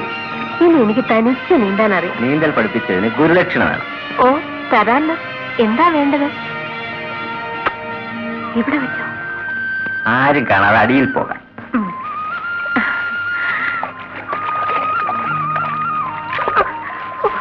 എന്തല്ലേ ഇത്? ഒന്ന് ചുമ്മാ ഇരുന്നോടെ. എന്തൊരു വൃത്തിയുടെ കാണിച്ചത്. ഏ കണ്ടാലെന്താ? കാണിച്ചാലെന്താ?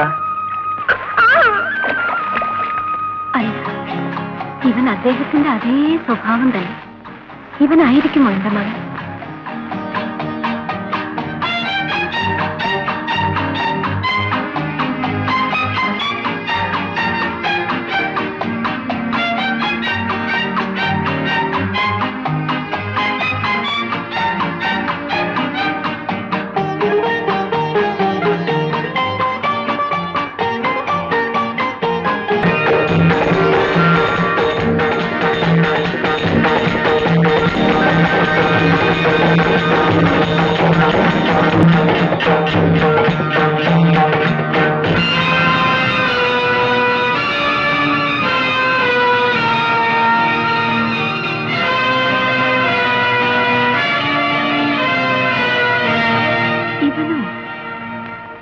അദ്ദേഹത്തിന്റെ സ്വഭാവ ഗുണങ്ങളൊക്കെ ഉണ്ടല്ലോ. ഒരു പക്ഷേ ഇവൻ തന്നെ ആയിരിക്കുമോ എന്റെ മകൻ? കുട്ടപ്പനെ കൊണ്ട് തന്നെ സ്വന്തം കുഞ്ഞാരാണെന്ന് ഞാൻ പറയും. അവൻ ചെയ്ത സൂത്രങ്ങൾ എളുപ്പത്തിലൊന്നും പറയാൻ പോകുന്നില്ല. അത് പറഞ്ഞേ തീരുവെന്ന ധർമ്മസങ്കടത്തിൽ ഞാൻ അവനെ കൊടുക്കാൻ പോകുന്നു. ധർമ്മസങ്കടമോ? അതെ. ഇവിടെ അടുത്തുള്ള പുഴയിലൂടെ നമ്മളെല്ലാവരും ചേർന്ന് ഒരു വഞ്ചിയിൽ അക്കരയ്ക്ക് പോകുന്നു. നടുവിൽ വെച്ച് വഞ്ചി മുങ്ങുന്നു. ആരെങ്കിലും ഒരാൾ വെള്ളത്തിൽ ചാടണമെന്ന് വഞ്ചിക്കാരൻ പറയുന്നു. വെള്ളത്തിൽ ചാടാനോ? ആ പുഴയിൽ നിറയെ മുതലകളില്ലേ? മാഡം ഇത്തരം പരിശോധനകളിലൂടെ നമുക്ക് സത്യം കണ്ടുപിടിക്കാം. ആ സന്ദർഭത്തിൽ നിങ്ങളെ രക്ഷിക്കുന്നതിന് ആ രണ്ട് കുട്ടികളും വെള്ളത്തിൽ ചാടാമെന്ന് പറയും. ആരെങ്കിലും ഒരാൾ ചാടിയാൽ മതി. അത് ആരാണെന്ന് തീരുമാനിക്കാനുള്ള അവകാശം നമുക്ക് കുട്ടപ്പന് വിട്ടുകൊടുക്കാം. അവൻ ഒരിക്കലും സ്വന്തം കുഞ്ഞിനെ വെള്ളത്തിൽ ചാടാൻ അനുവദിക്കില്ല. ആ സന്ദർഭത്തിൽ നമുക്ക് ഊഹിക്കാം. കണ്ടുപിടിച്ചിട്ട് എന്ത് പ്രയോജനം? വെള്ളത്തിൽ ചാടിയാൽ മുതല വിഴുങ്ങുകയല്ലേ? കണ്ടുപിടിക്കാൻ മാത്രമല്ലേ പദ്ധതി? കണ്ടുപിടിച്ച് കഴിഞ്ഞാൽ പിന്നെ എന്തിനു വെള്ളത്തിൽ ചാടണം? എല്ലാവരെയും അവിടേക്ക് വരാൻ പറഞ്ഞിട്ടുണ്ട്. വരൂ.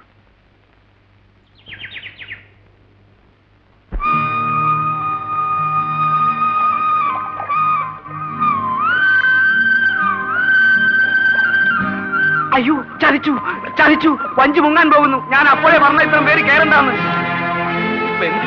ആരെങ്കിലും ഒരാൾ ചാടി നീന്തി കയറാമെങ്കിൽ മറ്റുള്ളവർക്ക് രക്ഷപ്പെടാം. വേണമെങ്കിൽ ഞാൻ തന്നെ അയ്യോ, അത് വേണ്ട. നീ പോയ പിന്നെ ആര് വള്ളം തോയി ഞങ്ങൾ ഇവിടെ കിടന്ന് മുങ്ങിച്ചത്തു പറഞ്ഞു നിൽക്കാൻ നേരമില്ല. വേഗം ചാടണം. എനിക്ക് നീന്താൻ അറിയില്ലല്ലോ. നിങ്ങൾ ആരും വിഷമിക്കണ്ട. എനിക്ക് നീന്താൻ അറിയാം. അമ്മയ്ക്ക് വേണ്ടി ഞാൻ ചാടാം. എന്റെ അമ്മയ്ക്ക് വേണ്ടി ഞാൻ ചാടിക്കോ? നിക്ക് നിക്ക്. ആരെങ്കിലും ഒരാൾ ചാടിയാൽ വെള്ളത്തിൽ മുതലുണ്ട്. രണ്ടുപേരും കൂടെ ആവട്ടെ എന്ന് ചേർന്ന് അത് ഞാനെങ്ങനെ പറയും?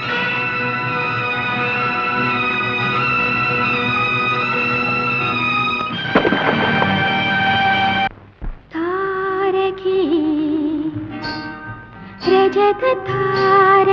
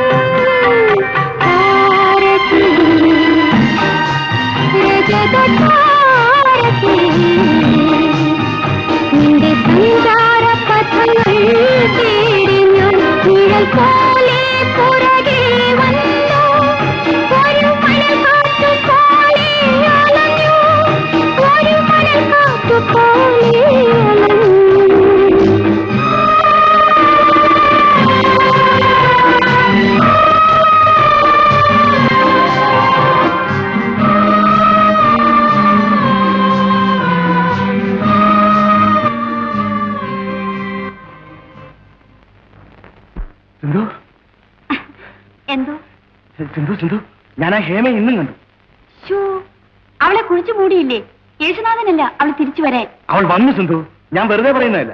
അവൾ പാട്ട് പാടിക്കൊണ്ടാണ് വന്നത്. ഞാൻ ഈ കാതുകൊണ്ട് കേട്ടതാണ്. നിങ്ങൾ കേട്ടതും കണ്ടതും വെറും തോന്നലാണ്. സത്യമില്ല. നീ ഇങ്ങനെ പറയുമെന്ന് എനിക്കറിയാം. അതുകൊണ്ടാണ് ഞാൻ ആ പാട്ട് റെക്കോർഡ് ചെയ്ത് കൊണ്ടുവന്നത് ഇതാ കേൾക്ക്.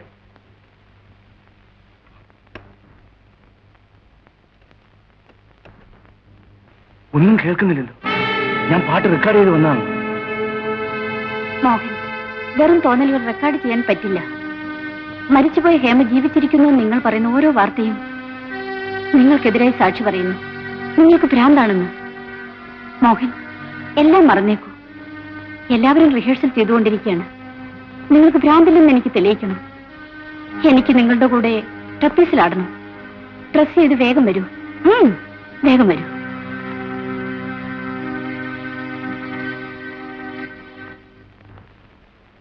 ക്ഷമിക്കണം മിസ്റ്റർ മദൻ. അദ്ദേഹത്തിന്റെ മരണശേഷം ഞാൻ ഒരു പൊതുചടങ്ങിലും പങ്കെടുക്കാറില്ല. ഇതൊരു പൊതുചടങ്ങല്ല ഒരു ഗെറ്റ് ടുഗദർ അത്രമാത്രം. ഇല്ല. നിർബന്ധിക്കരുത്. നിങ്ങളുടെ ക്ഷണത്തിന് നന്ദിയുണ്ട്. അങ്ങനെ പറയരുത്. ഞാൻ എല്ലാ ഏർപ്പാടുകളും ചെയ്തു എന്നോടൊന്ന് ആലോചിക്കാതെ പോലും. നിങ്ങളുടെ സർക്കസിന് ഒരു പബ്ലിസിറ്റി എന്ന നിലയിൽ ഇവിടത്തെ നിത്യ സന്ദർശകൻ എന്ന നിലയിലുള്ള എന്റെ സ്വാതന്ത്ര്യം ഞാൻ ഉപയോഗിച്ചു. അതൊരു തെറ്റാണെങ്കിൽ ക്ഷമിക്കണം. ക്ഷമാപണത്തിന് വേണ്ടി പറഞ്ഞതല്ല. ഞാൻ അത്തരം പബ്ലിസിറ്റിയിൽ വിശ്വസിക്കുന്നില്ല. ഇത് എന്റെ പ്രസ്റ്റേജ് പ്രശ്നമാണ്. എന്റെ സുഹൃത്തുക്കളുടെ മുന്നിൽ ഞാൻ അവമാനപ്പെടേണ്ടി വരും. പ്ലീസ് മാഡം പ്ലീസ് ശരി. പക്ഷേ മേലാൽ ഇത് ആവർത്തിക്കരുത്. നോ അപ്പൊ ഞാൻ ഇറങ്ങട്ടെ? ആട്ടെ. അമ്മേ സർക്കസിലെ മുഖ്യ ഇനം മോഹന്റെ ട്രപ്പീസ്റ്റാട്ടമോ അതോ എന്റെ മൃഗജാലമോ? എല്ലാം മുഖ്യം തന്നെ. എല്ലാ ഐറ്റവും കാണാനാണ് ആളുകൾ വരുന്നത്. എന്നാലും ആളുകൾക്ക് കൂടുതൽ പിടിക്കുന്നത്? ഞാൻ പോയി നോക്കിയിട്ട് വന്ന് പറയാം.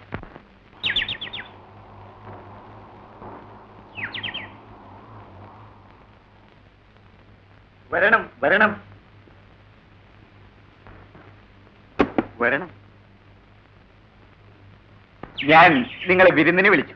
പക്ഷെ നിങ്ങൾ വരില്ല എന്ന് കരുതി. ഞങ്ങൾ വിരുന്നിന് വന്നു എന്നുള്ളത് സത്യം. പക്ഷെ മറ്റൊരു സത്യം മനസ്സിലാക്കലാണ് ഞങ്ങളുടെ ഓ ഉദ്ദേശം വിത്ത് പ്ലഷർ. ഞങ്ങളുടെ സർക്കസ് കാണാൻ നിങ്ങൾ പതിവായി വരാറുണ്ടല്ലേ? യെസ് എത്ര തവണ കണ്ടാലും മതി വരാത്തൊരു കലാവിരുന്നാണത്. നിങ്ങൾ നല്ലൊരു ആസ്വാദകനാണ് ഞങ്ങളുടെ എല്ലാ ആരാധകരുടെയും ഒരു പ്രതിനിധിയായി ഞാൻ നിങ്ങളെ കരുതുന്നു. Thank you for your tribute ആ കൂട്ടത്തിൽ ഒന്ന് ചോദിക്കട്ടെ? ഞങ്ങളുടെ സർക്കസിനെ പറ്റി എന്താണ് അഭിപ്രായം? നിങ്ങളുടെ അഭിപ്രായം എനിക്കറിയേണ്ട ആവശ്യമുണ്ട്. ഞങ്ങളുടെ ഷോയിൽ നിങ്ങൾക്ക് ഏറ്റവും ഇഷ്ടപ്പെട്ട ഐറ്റം ഏതാണ്? ഞാൻ നിങ്ങളിവിടെ ക്ഷണിച്ചതിന്റെ കാരണം അത് മനസ്സിലാക്കിപ്പിക്കാൻ വേണ്ടിയാണ്. പക്ഷേ അതിന് നിങ്ങളുടെ പെൺകുട്ടികളുടെ അല്പസഹകരണം വേണം. എന്ത് വേണം? പറയൂ. നത്തിങ് മച്ച് വന്ന് വരിയായി നിന്നാൽ മാത്രം മതി.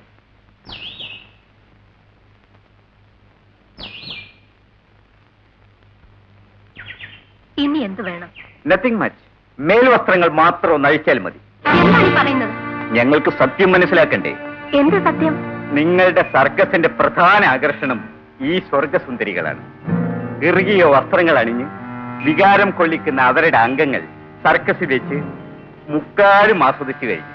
ഇവിടെ മുഴുവനും ആസ്വദിക്കാൻ വേണ്ടിയാണ് വലിച്ചെറിയാൻ പറഞ്ഞത്. നോൺസെൻസ് ഇത്തരം നാണം കെട്ട ഒരു മനുഷ്യനാണ് നിങ്ങളെന്ന് ഞാൻ കരുതിയില്ല. സർക്കസ് കാണാൻ വരുന്നവരാരും ഇങ്ങനെയാണെന്ന് എനിക്ക് തോന്നുന്നില്ല. സർക്കസ് ഒരു മികച്ച കലയാണ്. എല്ലാ കലകളിലും ജനങ്ങൾ അധികം ആസ്വദിക്കുന്നത് സെക്സ് ആണ്. ശില്പകല ചിത്രകല സാഹിത്യകല എല്ലാ കലകളും സെക്സിലാണ് ജീവിക്കുന്നത്. അല്ലെങ്കിൽ അവ നശിച്ചു പോകും sex is the secret of art എന്ന് ഞാൻ മനസ്സിലാക്കിയിട്ടുണ്ട്. അതുകൊണ്ട് തന്നെ ഞാൻ അതിന് വിടാൻ പോകുന്നില്ല. മിസ്റ്റർ മദൻ നിങ്ങളുടെ ആഗ്രഹങ്ങളൊന്നും ഇവിടെ നടക്കാൻ പോകുന്നില്ല. അത് മനസ്സിൽ വെച്ചാ മതി. നടത്തി കാണിച്ചാലോ?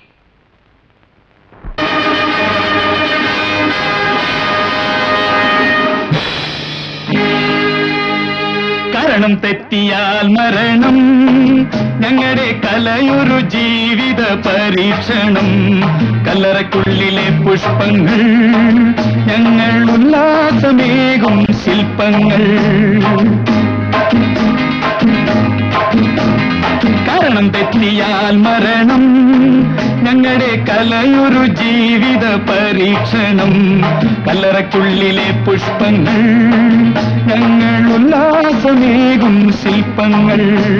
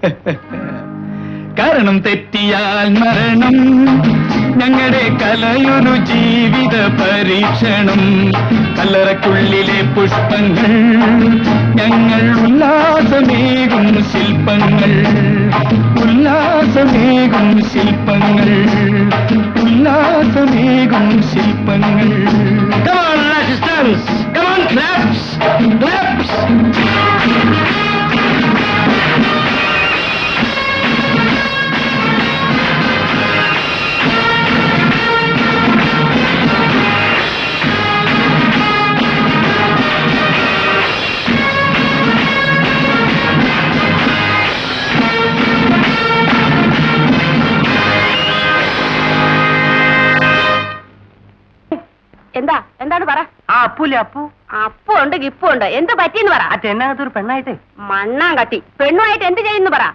ബലാത്സംഗം ചെയ്യുന്നു. ഏ? ബലാത്സംഗം ചെയ്തുകൊണ്ടിരിക്കുന്നു. സംഭവം ഉള്ള ആർക്കും കേട്ടോ? ആരാ പെണ്ണ?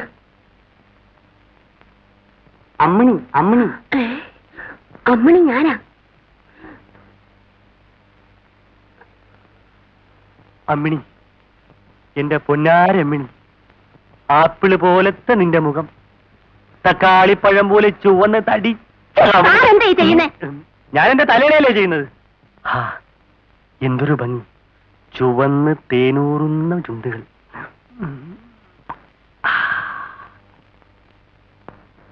കണ്ടാൽ എത്ര വലുത്. കെട്ടിപ്പിടിച്ചാൽ ചുരുങ്ങി പോകുന്നു. അയ്യോ എന്നെ അയ്യോ എന്നെ ഇത് കൊള്ളാം. ഞാൻ നിന്നെ വല്ലതും ചെയ്തു. ഞാൻ ചെയ്യുന്നതിന് അമ്മിണി തലയണയല്ലേ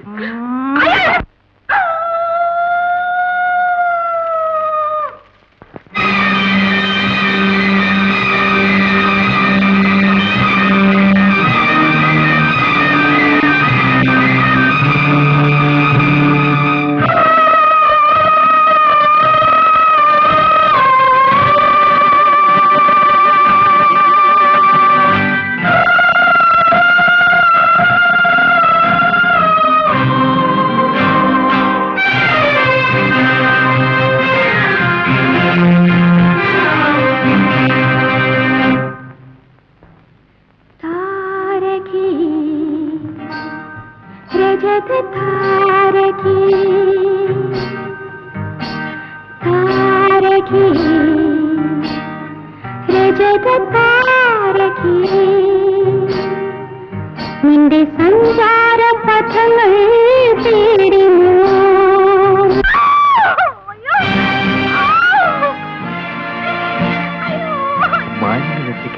കാലകപ്പെട്ടിരിക്കുന്നു. പ്രേതത്തിന് കാലുകളോ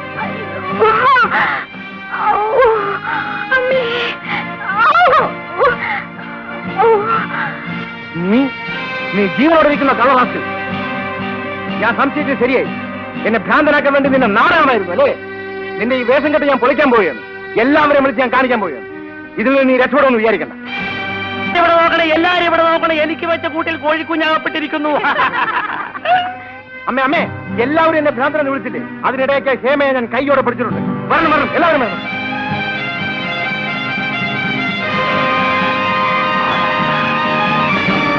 ഇല്ല. ഈ കെടിയിൽ ഹേമയായിരുന്നു. ഭ്രാന്തൻ ചക്കൻ ഈ കെണിയിൽ എന്റെ കാലാകപ്പെട്ടു. അതൊന്ന് എടുത്തു വിടാൻ പറഞ്ഞപ്പോ നീ ഹേമേ ഹേമേ എന്ന് പറഞ്ഞ് നിലവിളിക്കേ. ഞാൻ കുട്ടപ്പനാണെന്ന് പറഞ്ഞിട്ട് നീ കേട്ടില്ല. ഒറ്റ ഓട്ടോ ഇല്ല നിങ്ങൾ കള്ളം പറയുകയാണ്. ഈ കെണിയിൽ ഹേമയായിരുന്നു. മിണ്ടാതിരിക്കും മോഹൻ. ഭ്രാന്ത് കാണിച്ചിട്ട് തർക്കിക്കുന്നു. രാജാ ആ കെട്ടഴിച്ചു വിടും. അമ്മേ. നീ മിണ്ടാതിരി.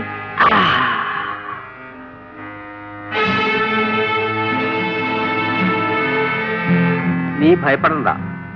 മോഹൻ ഭ്രാന്തനാണെന്ന് വീണ്ടും വിശ്വസിപ്പിച്ചിട്ടാ ഞാനിങ്ങോട്ട് പോന്നു നിങ്ങൾ വരാൻ താമസിച്ചിരുന്നെങ്കിൽ ഞാൻ അകപ്പെട്ടു പോയേനെ. നിനക്ക് ഒരാപത്തും വരാൻ പോണു. അന്ന് ആ ശിവക്ഷേത്രത്തിനടുത്ത് മോഹനെ ഭ്രാന്തനാക്കാൻ വേണ്ടി വരാൻ നിങ്ങൾ എന്നോട് പറഞ്ഞില്ലേ? നമ്മൾ അവിടെ വെച്ച് സംസാരിക്കുന്നത് പാർവതി കണ്ടു? അതെ. ആ രഹസ്യം വെളിയിൽ പറയാൻ തുനിഞ്ഞത് കൊണ്ടല്ലേ അവളെ കൊല്ലാൻ പുലിയുടെ കൂടി ഞാൻ തുറന്നു വിട്ടത്? പക്ഷെ ഒരു കാര്യം ഇനിയും എന്നെ വെച്ച് മോഹനെ ഭ്രാന്തനാക്കാമെന്ന് കരുതരുത്. കാരണം ഇനിയും മോഹൻ എന്നെ കണ്ടാൽ പ്രേതമാണെന്ന് കരുതി ഭയം നോടാൻ പോകുന്നില്ല. ഓടി വന്ന് എന്നെ പിടികൂടും. ഇല്ല. അവൻ പിടിക്കാൻ ഇടയാകും വിധം ഞാൻ നിന്നെ അവന്റെ അടുത്തേക്ക് വിടാൻ പോകുന്നില്ല. ദൂരെ വെച്ച് പേടിപ്പിച്ച് വിടത്തേ ഉള്ളൂ. ഇനിമേൽ എനിക്ക് ഈ നാടകം അഭിനയിക്കാൻ വയ്യ. ഞാൻ മഹേശ്വരി അമ്മയോട് സത്യം പറയാൻ തീരുമാനിച്ചു കഴിഞ്ഞു. എന്ത്? നീ പോയി സത്യം തുറന്നു പറയാൻ തീരുമാനിച്ചു അതെ അവരെനിക്ക് മാപ്പ് തരും. സർക്കാർ കമ്പനിയിൽ തന്നെ ചേർന്ന് ഞാൻ ജീവിക്കും. അതെങ്ങനെ? രാജനെ നിനക്ക് മറക്കാൻ സാധിക്കുമോ? അപ്പൊ മോഹൻ നിന്നോട് കോപമാകും. കത്തിയേറിന്റെ പേരിൽ അവൻ നിന്നെ കൊല്ലുകയും ചെയ്യും. അന്ന് രക്ഷപ്പെട്ട മാതിരി ഇനി രക്ഷപ്പെടാമെന്ന് നീ വിചാരിക്കണം ഞാൻ പറയുന്നത് നീ കേട്ടോ പണം എത്ര വേണമെങ്കിൽ നിനക്ക് ഞാൻ തരാം. എന്നാ പറ്റോ? എന്താ കുറഞ്ഞു പോയെന്ന് തോന്നുന്നു. ഇത് കുറച്ച് ദിവസത്തേക്ക് മാത്രം. ഇനി ധാരാളം തരാം. എന്റെ മകനാ കമ്പനിയുടെ മുതലാളിയാകാൻ ഇനി അധിക ദിവസമൊന്നുമില്ല. അതിനെതിരെ നിൽക്കുന്ന മോഹന ഭ്രാന്തൻ എന്ന് പറഞ്ഞ ആശുപത്രി ഞാൻ ഭ്രാന്തില്ലെന്ന് സാക്ഷി പറയുന്നുണ്ടല്ലോ സിന്ധു. അവളുടെ കഥ ഈയിടെ ഞാൻ കഴിക്കും. ആ അങ്ങനെ ചില പരിപാടികളൊക്കെ ഉണ്ട്. അതൊക്കെ പിന്നെ പറയാം. ഇപ്പൊ ഞാൻ വരട്ടെ. നീ കയറിട്ടുണ്ടോ അവിടെ പോകുന്നു? ആടിയ കാലം പാടിയ നാവും ചുമ്മാതിരിക്കില്ല. ഇത് ട്രപ്പീസിൽ ആടിയ കാലം. വെറുതെ ഇരിക്കാൻ പറ്റില്ല. മരത്തിലെങ്കിലും ആടി എന്റെ ആശ സാധിക്കട്ടെ.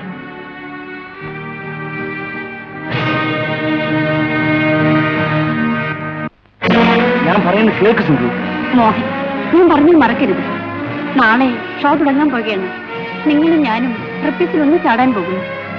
നിങ്ങൾക്ക് ഭ്രാന്തില്ലെന്ന് തെളിയിക്കാൻ കിട്ടിയ ഒരു നല്ല അവസരം പാഴാക്കരുത് എനിക്ക് ഭ്രാന്തില്ല സിന്ധു എനിക്കറിയാം പക്ഷെ അത് തെളിയിക്കണമല്ലോ. ഇവിടെ നിങ്ങൾ പോകരുത്. ഞാൻ ടെന്റിൽ പോയി ഒരു പ്രാവശ്യം വിശേഷം നോക്കിയിട്ട് വരാം. അവിടെ ഇരിക്കും.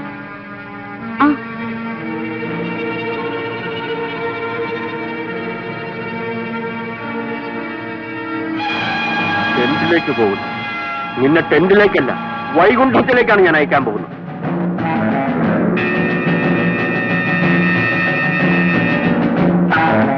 ഈ കയറിൽ ഒരു ജീവൻ ഊഞ്ഞാലാടുന്നു ഇത് അറുത്തെറിഞ്ഞാൽ അതോടെ തീർന്നു. ആ കുറ്റം മോഹന്റെ തലയിലിടാം.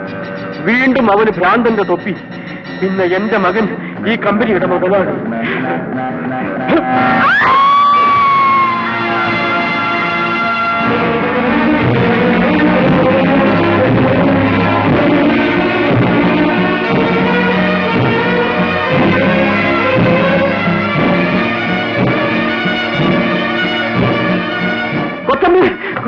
എന്താ? ആ ഭ്രാന്തൻ മോഹൻ സിദ്ധുവിനെ കൊന്നു. അതെ അവൾ ട്രിപ്പീസിൽ ആടിക്കൊണ്ടിരിക്കുമ്പോ അവൻ വെട്ടുകത്തിക്കൊണ്ട് ട്രിപ്പീസിൽ കയറാക്കുകയായിരുന്നു ഇതേ വെട്ടുകത്തിയുമായി വരുന്നു എന്താണമ്മേ? മഹാപാവി സിന്ധുവിനെ കൊന്നിട്ട് നീ എന്താണെന്ന് ചോദിക്കുന്നത് അയ്യോ എനിക്കൊന്നും അറിയാൻ വയ്യമ്മേ. ഞാനല്ലമ്മേ ഞാൻ ആരെയും കൊന്നിട്ടില്ലമ്മേ. എന്താ അമ്മേ? എന്താ ഉണ്ടായത്? നീ സത്യത്തിൽ ആടിക്കൊണ്ടിരിക്കുമ്പോ മോഹൻ കയറെടുത്തിട്ട് നീ താഴെ വീണ് മരിച്ചു എന്ന് പറഞ്ഞില്ല കുട്ടപ്പൻ. ഞാൻ അമ്പലത്തിൽ പോയിരുന്നമ്മേ. ഇനിയാണ് പ്രാക്ടീസ് ചെയ്യാൻ പോകുന്നത്. അപ്പൊ ട്രിപ്പീസിൽ നിന്ന് വന്ന് മരിച്ചത് ആരാ?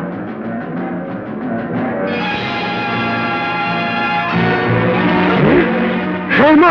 ആടിയ കാലം പാടിയ നാമം ചുമ്മാതിരിക്കില്ല ഇത് ട്രപ്പീസിൽ ആടിയ കാലം. വെറുതെ ഇരിക്കാൻ പറ്റില്ല. മരത്തിലെങ്കിലും ആടി എന്റെ ആശ സാധിക്കട്ടെ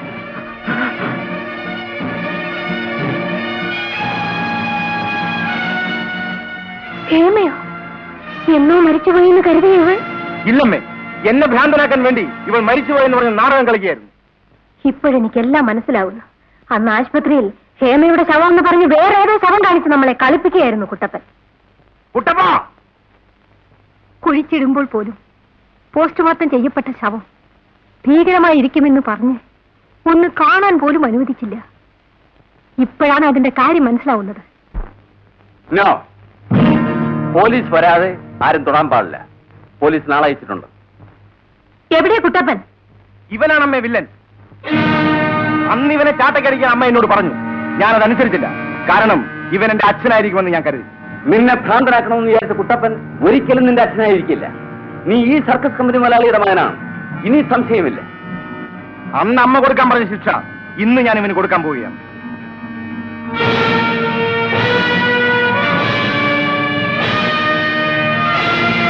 മോനെ രാജ.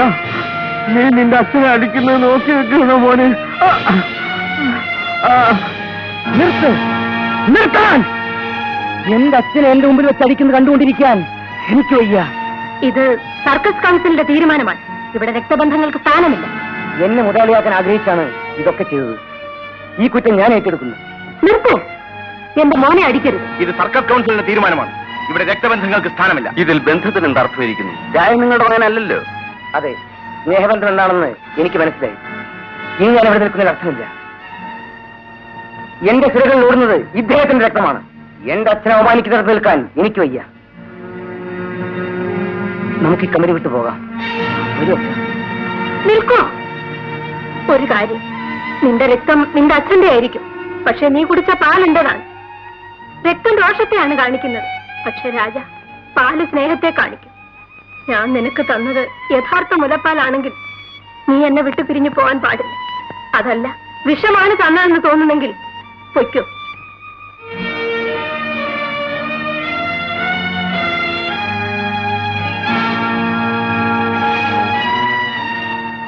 എന്നോട് ക്ഷമിക്കൂ അമ്മേ. അമ്മയെ വിട്ട് ഞാൻ ഒരിടത്തും പോവില്ല.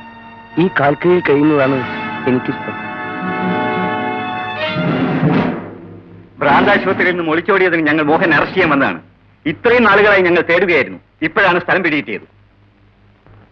നിങ്ങൾ അറസ്റ്റ് ചെയ്തിരിക്കുന്നു. നിൽക്കൂ. അവന്റെ പേരിലുള്ള കുറ്റം കൊലപാതകമാണല്ലോ. അവൻ കൊന്നു എന്ന് പറയുന്ന പെണ്ണ് ഇതാ ഇവിടെയുണ്ട്.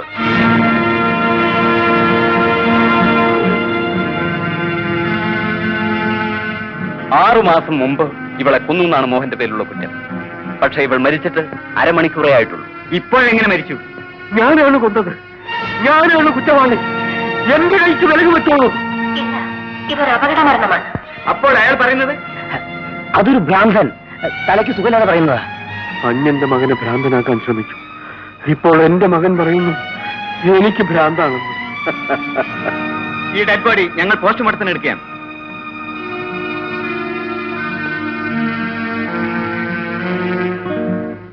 എന്റെ ചുമതല കഴിഞ്ഞു. ആ ഇതാ മോഹൻ. നിന്റെ അച്ഛൻ എഴുതി വെച്ച വിൽപ്പത്രം. ഈ സർക്കസ് കമ്പനി നിന്റെ സ്വന്തമാണ്. ഇല്ല. എനിക്കിത് വേണ്ട. ഇവിടെ നടന്ന എല്ലാ കുഴപ്പങ്ങൾക്കും കാരണം സമ്പത്താണ്. ഈ സമ്പത്ത് എല്ലാവർക്കുമായി മാറ്റാൻ പോവുകയാണ്. ഇനി മുതൽ ഇവിടെ എല്ലാവരും മുതലാളി എല്ലാവരും തൊഴിലാളി. All for one and one for all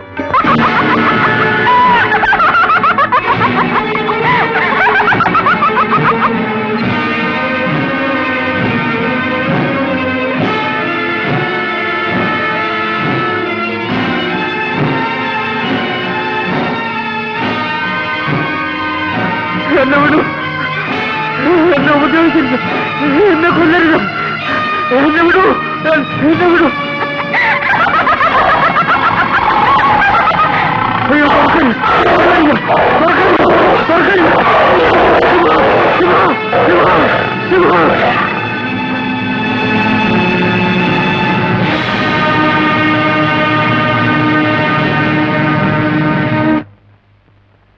Parvathi വരുന്നേന്ന് പറഞ്ഞ് ഓടിപ്പോകുന്നത് കണ്ടു.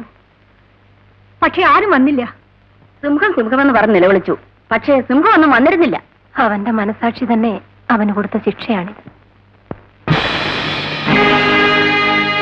കാരണം തെറ്റിയാൽ മരണം. ഞങ്ങളുടെ കലയൊരു ജീവിത പരീക്ഷണം. കല്ലറക്കുള്ളിലെ പുഷ്പങ്ങൾ ഞങ്ങൾ ഉല്ലാസമേകും ശില്പങ്ങൾ.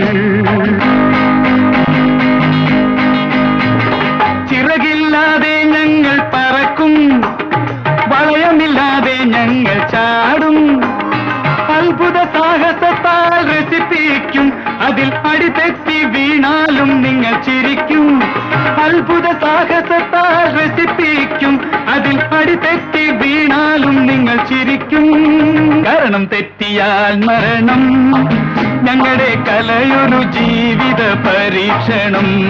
കല്ലറക്കുള്ളിലെ പുഷ്പങ്ങൾ ഞങ്ങൾ ഉല്ലാസമേകും ശില്പങ്ങൾ. ഉല്ലാസമേകും ശില്പങ്ങൾ.